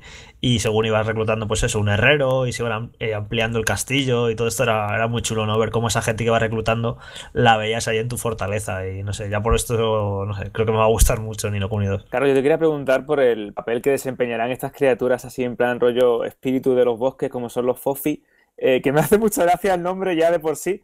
Eh, ¿Qué aspecto van a, potenciar en el juego? ¿Qué papel desempeñan? ¿Van a ser importantes o es un mero ítem eh, coleccionable para tenerte entretenido durante más tiempo en un juego de rol? Pues sinceramente no me ha dado, como el juego ya lo empezamos en el capítulo 3, toda la parte de la explicación de los FOFIs y tal ya se habría dado y no hemos tenido mucha ocasión de trastear con este tema. Yo lo que me metí en el menú, vi que pues podías equiparte unos FOFIs u otros para las batallas y que cada uno tenía como un montón de estadísticas diferentes y de habilidades y tal, y no, no me dio tiempo demasiado a mirar exactamente cómo de profundo es y cómo funciona. Pero lo que sí te puedo decir es que los FOFIs que llevas a la batalla, de vez en cuando eh, se iluminan. Se iluminan y te empiezan a llamar, y si te acercas y pulsas la X, hacen su habilidad especial. Por ejemplo, que los fofis verdes, eh, si te acercas, ponen un círculo de curación y todo el mundo que está dentro de ese círculo pues se va curando. Los fofis de fuego ponen un escudo de fuego y cuando un jefe, por ejemplo, te hace un, un ataque de fuego, si tú estás dentro de ese círculo, pues no te hace daño. Eh, otros pues sacan de repente un cañón y se ponen a pegar de cañonazos al enemigo. otros, los, negros, hacen un hechizo así como de gravedad que hace un montón de daño en área.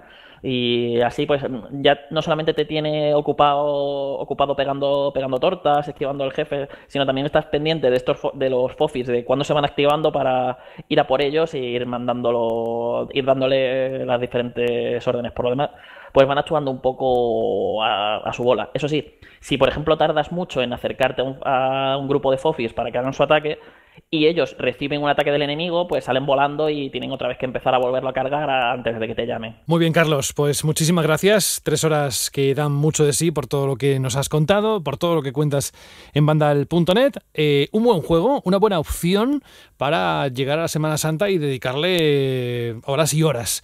El 23 de marzo, Nino Kuni 2, el renacer de un reino que sabemos que muchos de nuestros oyentes lo tienen ahí enfilado y con muchas ganas de tenerlo. Así que piensan que eres un afortunado, Carlos. Gracias y hasta pronto. Venga, nos vemos. Hasta luego. Hasta luego. Nosotros seguimos, ¿eh? que el programa avanza. Vamos rápidamente con algunas preguntas. No sé si nos va a dar tiempo a todas, pero al menos, como ya tenemos unas cuantas acumuladas, vamos a, empezar por bandal.net. Juan López hace unas semanas nos decía lo siguiente. Siendo el nuevo Zelda un juegazo imprescindible, pero en mi opinión no exento de defectillos como por ejemplo historia, jefes, mazmorras y algunas cosillas más, para prácticamente toda la prensa a nivel mundial es un juego de 10 y no se le penaliza ninguno de esos fallitos que a otros juegos sí que se les penaliza. Y ahora para Switch no paran de salir remasters y a todo el mundo les gusta, pero antes para las otras consolas estaban mal vistos. ¿Creéis que para Nintendo se usa una vara de medir distinta que para el resto de compañías, Jorge? Pues voy a dar una respuesta muy polémica, pero creo que sí. Yo lo he percibido desde siempre que llevo trabajando en esto porque Nintendo es una compañía eh, tan mítica, no tiene evidentemente ese misticismo ni Sony ni Microsoft, porque no tiene ni la historia ni el legado. Es una generación de treintañeros y cuarentañeros que en muchos casos se han criado con los juegos de Nintendo y el fan de Nintendo es especialmente apasionado. Este fan, cuando luego se convierte en periodista de videojuegos, puede mantener, evidentemente, o tiene que mantener cierta objetividad en el hecho de, que no se le vaya la olla con sus sagas favoritas, que eso nos puede pasar a todos, o con la propia marca. Y entonces en la gran mayoría, en el 90% de los juegos, pongamos, que salen para Nintendo, pues sí puedes ver notas de todo tipo, hay muchos juegos de Nintendo que se los castiga y se les ponen bajas notas cuando se les tiene que poner. Pero es cierto que hay en ciertos juegos puntuales al cabo del año que son muy buenos, que yo sí que noto que hay unas notas más entusiastas de lo que deberían o de lo normal, precisamente por ser de Nintendo y porque el que analiza los juegos de Nintendo suele ser fan de la marca de toda la vida. Entonces a la hora de entusiasmarse y de tener que poner un 10, veo más fácil que ocurra en un juego de Nintendo que de otra marca. Es como más fácil darle un 10 a un Super Mario o a un Zelda, como que menos gente te va a juzgar, menos gente lo va a poner en entredicho. ¿Sabes? Es como muy fácil calentarte con un juego de Nintendo, por así decirle, y darle un 10 a Zelda Breath of the Wild. Eso es más fácil que dárselo a un juego de Microsoft o a un juego de Sony. Y lo digo porque que lo pienso, lo he pensado de siempre. Yo a Zelda Breath of the Wild, yo le di un 9,5 y me pareció el mejor juego del año, lo dije aquí en el programa. pero curiosamente es una de las notas más bajas del mundo. Si te metes en Metacritic y ves todas las críticas, más de 100, mi 9 y medio está entre las más bajas, porque como dice el oyente, eh, para mí es un juego que tiene bastantes defectos. Creo que la historia es muy floja y podría haber sido mucho mejor. Creo que las misiones secundarias no están demasiado cuidadas. Creo que se podrían haber metido mazmorras eh, bien hechas, como siempre, y que no estuvieran reñidas con el resto del juego. Creo que podría haber tenido jefes finales mejores. Y aún así me parece un juego maravilloso, ojo. Pero no me parece un juego de 10. Me parece un juego sobresaliente y, como he dicho, lo mejor del año. Entonces sí que estoy de acuerdo contigo en eso que dices, que creo que a veces como que es más fácil calentarte con un juego de Nintendo y darle una notaza a un 10 que con otro juego de, otras compañías. Esto es un debate muy interesante ¿eh? y daría para un buen ratazo porque claro, lo que digo, aquí viene, hay muchas cosas implícitas, ¿no? El hecho de que tú tengas ciertos sentimientos hacia una marca porque te has criado con ella, pues es muy difícil, imagino, quitarte, quitártelos y, ser completamente... Es que lo que hablamos, es que un análisis no es algo objetivo, es que es un análisis es algo subjetivo. Entonces, casi es inevitable que haya como cierto partidismo hacia una saga, hacia una marca, no sé, es un tema muy interesante y que da para mucho. Pero que estoy de acuerdo con lo que dices, que sí que creo que a veces con Nintendo se es un poco demasiado amable en, en ciertos aspectos. Gracias, Jorge. Vamos con OGT. Ojete, que sé que le gusta que lo lea así, mm, lo, intuyo, ¿eh? no, no hemos hablado nunca. Dice, ¿veis posible a corto plazo, ahora que Konami quiere explotar y quemar la saga Metal Gear Solid, que se haga un remake para nuevas consolas del primer Metal Gear Solid? Y luego tiene otra cuestión, pero vamos primero con esto. Yo creo que, bueno, dale Enrique, si quieres. No, vamos, yo creo que vamos a decir lo mismo. Yo creo que en un par de añitos vamos a ver un remake de algún Metal Gear. Creo. Sí, yo creo que es lo más sencillo para ellos, ¿no? A día de hoy que yo creo que a lo mejor con este Survive han ido a por otra cosa diferente. Y no sé, creo que tienen una forma de hacer dinero muy sencilla, muy, muy sencilla, que es eh, sacar un remake del 3, sacar un remake del 1, del 2 y empezar a sacar pasta por ahí porque justo lo que hablábamos antes, que al final yo creo que los remakes, es, según la expectación que cree, pues son mejor aceptados o no. Si haces un remake de Darksiders, pues a lo mejor nadie lo quería y es una mierda para el público. Pero con estos remakes yo creo que pueden sacar mucha pasta de manera sencilla. Veremos a ver lo que hacen. Y la otra pregunta tiene que ver con la reaparición en Steam del mítico, dice OGT, y Primer Mafia dice, nos pregunta, ¿veis viable que se saque para nuevas consolas remasterizado? Lo vería, me sorprendería mucho porque, bueno, si tenemos en cuenta que el Mafia 3 no terminó de salir eh, también como esperaban en 2K, también a nivel de ventas y demás, que de hecho se puede encontrar en tiendas a precio de saldo, y que la saga pues tuvo una segunda entrega que fue un poquito criticada, pero fue mejor, tuvo mejor recepción que, que el tercero, no sé, me, parecería, me sorprendería bastante. Gracias, Enrique. Brave, nuestro amigo y fiel oyente, nos pregunta, ¿creéis que Sony seguirá el mismo camino que Microsoft con Game Pass? Hombre, Sony tiene una estrategia eh, similar y a la vez distinta, ¿no? Que es PlayStation Now. Queda por, eh, no es lo mismo, pero es similar. Queda por ver si este movimiento de, Microsoft en cuanto a convertir los juegos en, una plataforma de, de servicios, y ofrecer al jugador una suscripción para que pueda acceder a todos los títulos que él quiera, cuando él quiera, y desde una consola Xbox y algunos también desde Windows 10 con el sistema Play Anywhere, pues queda por ver si Sony eh, ve mercado en esto. No sería de extrañar, y esto aquí me la, me la juego un poco, que en el próximo E3 eh, o renovaran el servicio PlayStation Now o lo adaptaran a la estrategia de Microsoft o quisieran también anunciar algo en relación a esto para que ellos eh, demostrar que obviamente pues también PS4 o las consolas de Sony son unas plataformas que no olvidan ese tipo de, características. Así que no sería de extrañar que Sony anunciara algo, algo parecido en algún futuro. Gracias, Alberto. Vamos con las preguntas de iVox. Empezamos con Raga Winnie88. Dice, os quería preguntar sobre un juego que han anunciado, pero solo se ha visto el tráiler. Es el Dakar 18. ¿Sabéis algo más de este título? ¿Fecha de lanzamiento, jugabilidad o estudio, el cual se encarga de hacer esta maravilla? Espero vuestra respuesta. Gracias. No se sabe fecha todavía. Se dice que va a salir este año. Eh, he visto que la última noticia fue de enero, que, pusimos unas imágenes, hay algún vídeo, pero bueno, hay poquito de detalles todavía y no se sabe cuándo saldrá. Eh, lo suyo hubiera sido que hubiera salido ahora en enero, ¿no? Para coincidir con la celebración del Dakar. Es un poco raro que no le hayan hecho coincidir, no sé si serán ya al del año que viene, pero bueno, que, en cualquier caso está fechado para este año. Gracias, Jorge. Vamos con The Crow. Dice, ¿de verdad creéis que Dark Souls ¿Es un juego adecuado para jugar en formato portátil? Pues para mí no me parece el juego más apropiado para formato portátil por muchos motivos, por los que es un juego que exige mucha concentración y mucha precisión y creo que cuanto tengas una pantalla más grande para ver todo lo que ocurre mejor, creo que la parte online es importante por los mensajes que te dejan en el suelo, por las invasiones, por el hecho de invocar. No sé, tiene una serie de ingredientes que a mí no me parecen muy apropiadas para ser un juego portátil. Luego, no sé yo qué tal, a ver qué tal los sticks, que bueno, la jugabilidad es la que es también y bueno, yo creo que no era en esta entrega, no creo que la hayan retocado mucho, también habrá que ver hasta qué punto han también retocado la, jugabilidad en este remaster. Para mí no me parece el juego más apropiado para portátil, pero evidentemente esto ya por gustos y por barrios y hay gente que disfruta los Dark Souls totalmente offline y que no le importa nada de esto y bueno, y que lo disfrutarán pero bueno, que hay juegos como que me pegan más que otros en, formato portátil, no sé qué opinan Enrique. Pues a mí más que preocuparme el tema del control, lo que me preocupa es la cuestión de rendimiento, de ver cómo va a funcionar, porque bueno, ya sabemos que From Software, eh, por menos de inicio, en, los primeros, sus primeros compases no era muy dada a presentar juegos que técnicamente estuviesen pulidos, eh, pulidos en cuanto a estabilidad de, de frames y demás. De hecho, el primer Dark Souls con la versión de PC tuvo que mejorarse a base de parche de un usuario lo cual es muy curioso y yo solo espero que esta versión de, Switch tenga un rendimiento de 30 frames eh, sólidos, rocosos, como dirían, y que funcione bien. O sea, el tema del control, pues bueno, ya es cuestión de adaptarte y de acostumbrarte un poco más o menos al asunto. Vale, no te vayas muy lejos, Enrique, porque la siguiente pregunta tiene que ver contigo.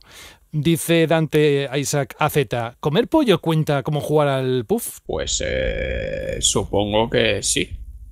Vale. Vamos con otra, otra pregunta. Nilson Trejo dice, me hago la pregunta si una empresa como Sony o Ubisoft, Activision, Electronic Arts o cualquier otra empresa de las que suelen demonizar los jugadores hace un anuncio como el de Nintendo Labo, ¿recibirían las mismas alabanzas y buena crítica como lo hacen con Nintendo? ¿Está Nintendo excluida de cualquier crítica negativa, aunque emplee políticas de sus productos en cuanto al precio, tal y como se han criticado otras empresas de la misma industria? Me gustaría saber su opinión. Pues Nilsson, eh, creo que hace un momento, precisamente Jorge, hablaba sobre ello y lo apuntaba como un posible debate en un futuro. O sea que lo dejamos ahí. Felipe. Aparte sobre esto, José, que, que el otro día lo pensaba, que habrá gente que, que a lo mejor se ha enganchado a banda al radio, pues evidentemente los últimos programas, o la última temporada, o los dos últimos años, y que no nos lleva acompañando desde el principio. Pero si quieres, se puede poner los primeros programas o no. No sé si a lo mejor no te, si te de yo, José. Pero bueno, el caso es que se puede poner los programas cuando empezamos, cuando estaba Wii U en el mercado y, había que hablar de ella, que le dábamos una somanta de palos a Wii U no sé si os acordaréis, que era tremenda. Y, yo me llevaba muchas críticas en los comentarios por criticar tanto a Wii U.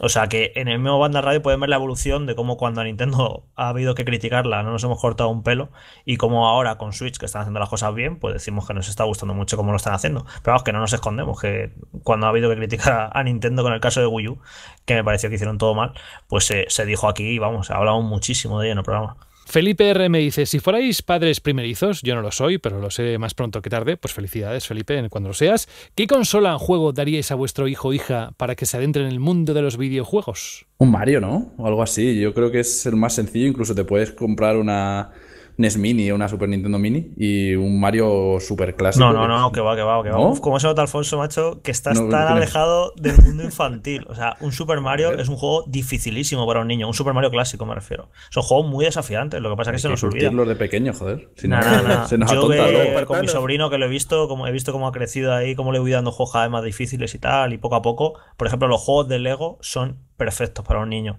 porque no tienen desafío de ningún tipo, da igual que te maten, te descompones y vuelves a aparecer. Y fomentan el cooperativo que también Fomenta jugar en cooperativo, puede el, padre jugar con su hijo, la madre, va resolviendo puzzles. Además son juegos que no son acción solo, que, que básicamente son como rompecabezas todo el rato, que hacen que el niño tenga que pensar y luego son licencias muy jugosas. Me parecen juegos muy, muy buenos para, un niño para empezar a jugar. Yo, mi sobrino con 4 o 5 años, le veía jugando al juego de Lego y, flipabas de lo bien que se le daban. Y luego ya de ahí, pues poco a poco puede ir saltando a cosas un poquito más, más complejas. Lo que está haciendo muy bien Nintendo en sus últimos juegos es meter modos o ayudas para que los niños también puedan jugar. Por ejemplo, Como Super el Mario Kart.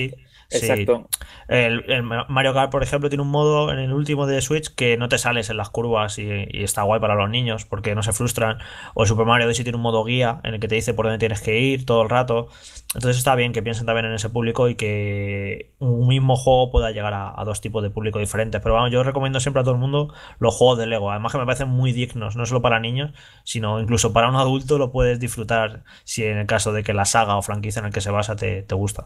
Sí, además yo también recomendaría Minecraft, que es muy típico y también está muy en eso de que es, bueno, se ha hecho demasiado mainstream, pero fomenta muchísimo la creatividad, el poder colaborar, hacer cosas, construir, es un poco los, los Lego de, de los tiempos modernos y no sé, a mí me gusta, me gusta mucho y también ha quedado claro que yo como padre no lo- solo no lo voy a ser, sino que soy un peligro público en caso de, de serlo. Te van a quitar la licencia de, Claro, de padre claro. rapidísimo antes de tener el niño. Vamos con otra pregunta de Arcef. Dice, las compras de juegos digitales, pone entre comillas, de ciertas web, eh, ofrecen claves, pero esas claves te las suelen pasar con una foto de la caja CD en físico en español, además, la mayoría de veces. ¿Eso no haría que este tipo de compras cuenten como ventas físicas en lugar de digitales? Pues puede ser. no sé si Es una buena pregunta, sí. A ver, a saber dónde salen esos códigos, eso para empezar, claro. Si salen de, de juegos físicos que se han robado, pues no van a contar para las ventas en ningún sitio, evidentemente. No sé, es que no sé, las claves esas que se venden en alguna web, ni idea de dónde sale. O sea, entonces no podemos. No, pero creo que se saber. refiere más al típico ese que sale la foto. hay Papelito, veces ¿no? que- El claro, voucher este, sí. Pues Entonces exacto. supongo que sí contará como física en el sentido de que sí que hay veces que nos venden videojuegos con la caja, pero dentro viene un código. Entonces, como en PC pasa a veces, sí que puede ser que si no ha sido Sí, pero robada. muchas veces de Sí, dónde claro. viene esa foto, Sí, sí, de claro, dónde claro, la han hecho, de dónde sale ese código físico que lo están vendiendo como por internet haciéndole una foto. Es a lo que voy, que, Sí, es que a sí, veces sí. son de dudosa procedencia, cuanto menos. Dejémoslo ahí. Vamos con Héctor González. Dice: Me surge una duda con las ventas del Dragon Ball Fighter Z. Fighters, perdón. ¿No puede ser que las versiones digitales con los personajes y la música original acapare las versiones físicas? Bueno, ahora que no está Rubén, yo voy a dar mi opinión. yo creo que cada vez los datos de venta eh, físicos van a ser menos fiables, ¿no? Porque según va creciendo el mercado digital, pues claro, eh, al final va a llegar un momento que el físico es representativo, más o menos orientativo de que un juego está triunfando, pero no sabes hasta qué punto. Por ejemplo, llevamos diciendo dos semanas que Monster Hunter World ha vendido mejor que Dragon Ball Fighters en España. Pero sin saberlo digital, pues a lo mejor no. A lo mejor Dragon Ball Fighters está vendiendo muy muy bien en digital porque la gente lo quiere tener en digital por el motivo que sea, porque no lo quiere sacar nunca de la consola.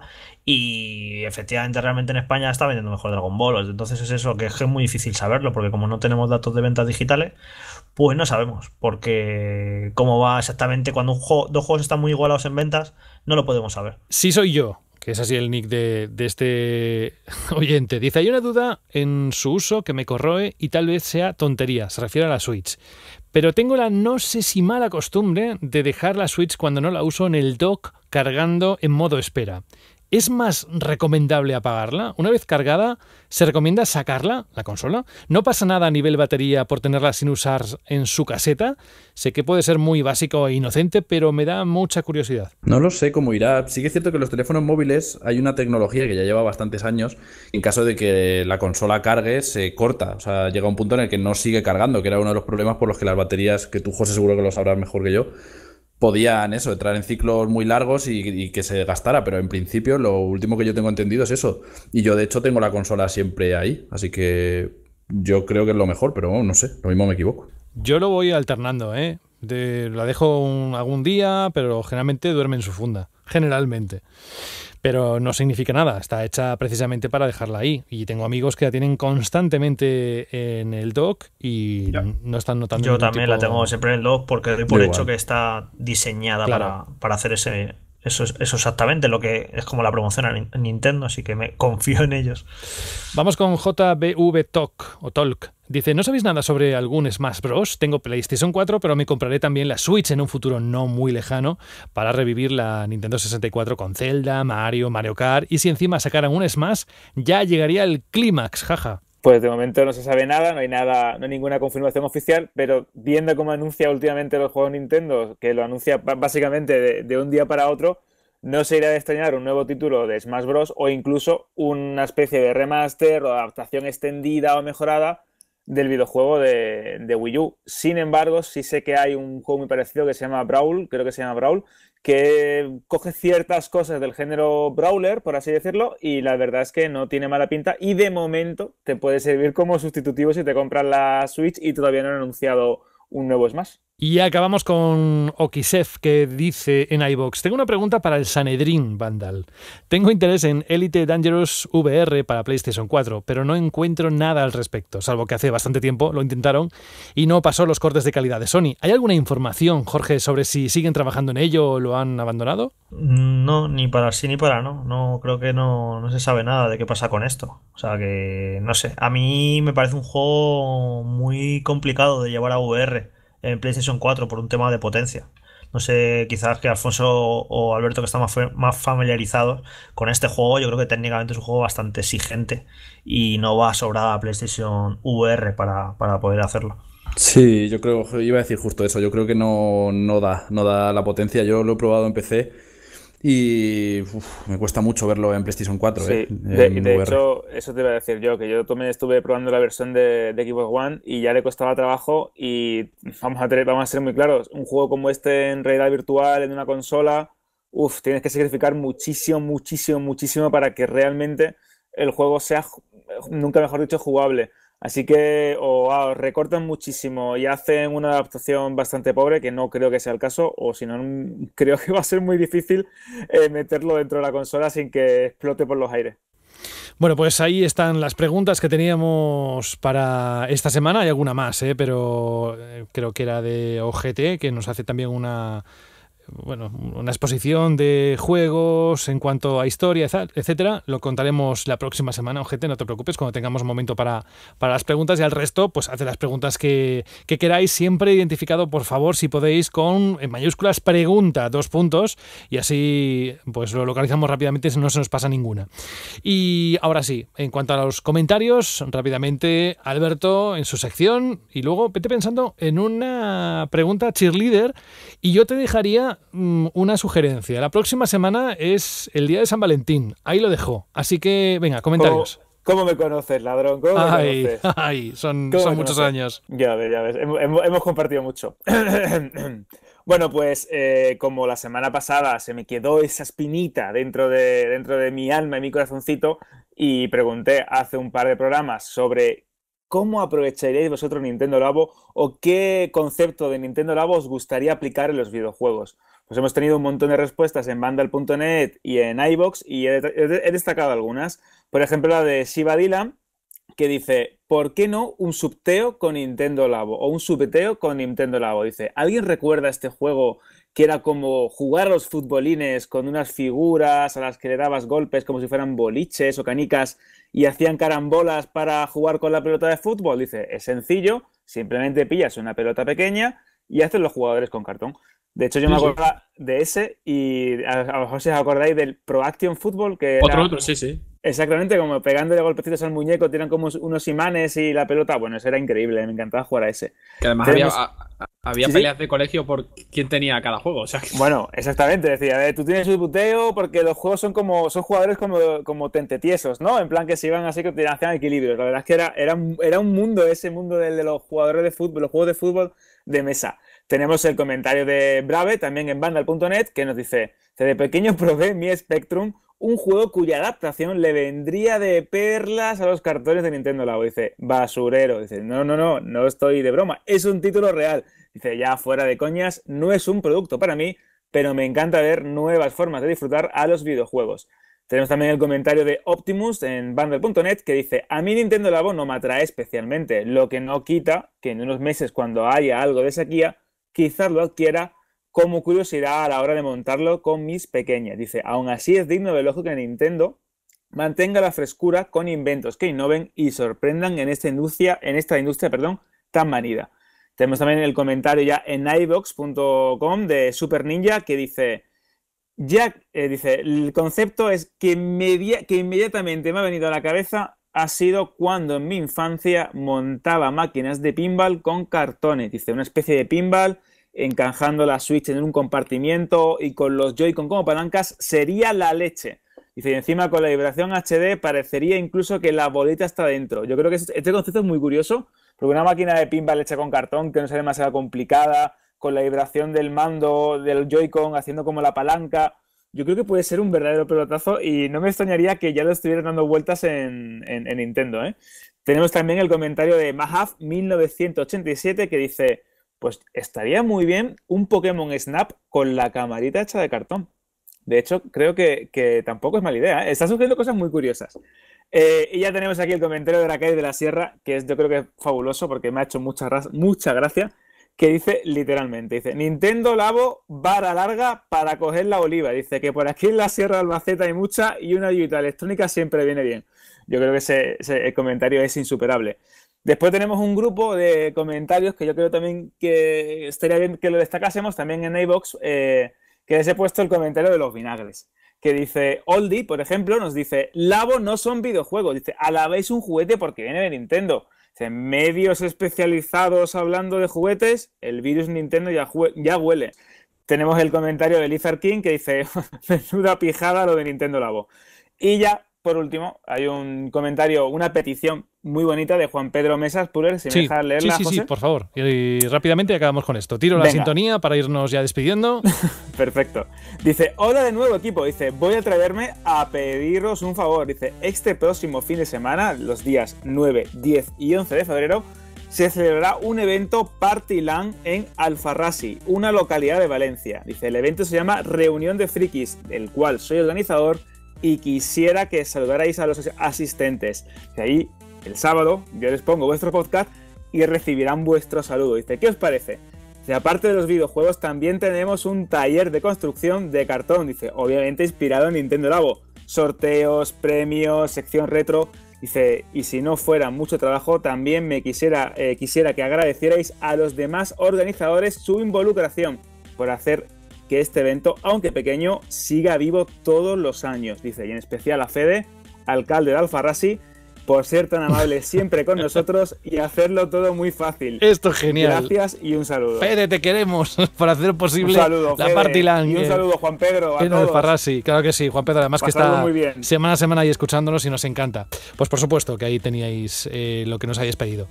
Mm, Alberto, vete pensando en la pregunta cheerleader relacionada por lo que hemos dicho y por lo que intuyo con el Día de los Enamorados. Alfonso Arribas, muchísimas gracias por estar con nosotros la próxima semana más. Un abrazo muy fuerte. Nada, a vosotros. Un abrazo. Enrique García, lo mismo. Un abrazo para Sevilla para que entres en calor y no tengas demasiado frío. Venga, nos vemos en la semana que viene. Alberto, ¿cuál es la pregunta? Pues obviamente yo creo que teniendo en cuenta que la semana que viene es el Día de los Enamorados, eh, ¿con qué juego os gustaría jugar con vuestra pareja, si la tenéis? Y si no, ¿qué juego sería el ideal para conquistarla o tirar los trastos a aquella chica o a aquel chico que os gusta? ¿Mm? Yo creo que son preguntas muy interesantes. Muy bien, gracias Alberto, un abrazo y hasta la próxima semana. Hasta la semana que viene y por supuesto eh, cuando estéis jugando tenéis que poner un disco de Taylor Swift con una balada bonita para que entre mejor, ¿no? Bueno, depende. ¿El qué? déjalo, déjalo. Ah, dices el, cortejo. Vale, déjalo. El cortejo, piensa bien, piensa bien. Sí, claro, claro, eh, me lo pones fácil. Alberto González, también un abrazo enorme para Málaga, para que no pases demasiado frío. Y Jorge Cano, más la próxima semana, más y mejor, como suelen decir. Sí, la semana que viene creo que vamos a tener ahí unos cuantos juegos de, los que hablar, que esta semana hemos dedicado mucho tiempo a las noticias y poco a los juegos, y creo que la semana que viene va a ser al revés. Vamos a tener muchos, muchos títulos de los que dar detalles y comentar. Muy bien, descansa, Jorge. Hasta la semana que viene. Y yo me despido, saludos de José de la Fuente, como siempre un placer, a ver si la próxima semana volvemos de nuevo con esas noticias que sabemos como la red de redención que os dejó así ojipláticos y a nosotros nos encanta contarlo y hablar sobre ello. Y recuerdo, eh, a los ganadores de la Liga Vandal Radio, al correo radio. Ha sido un programa, espero que os haya gustado, en el que hemos tocado un poco de todo y sobre todo que la próxima semana contamos con todos y cada uno de vosotros. Un abrazo. Adiós.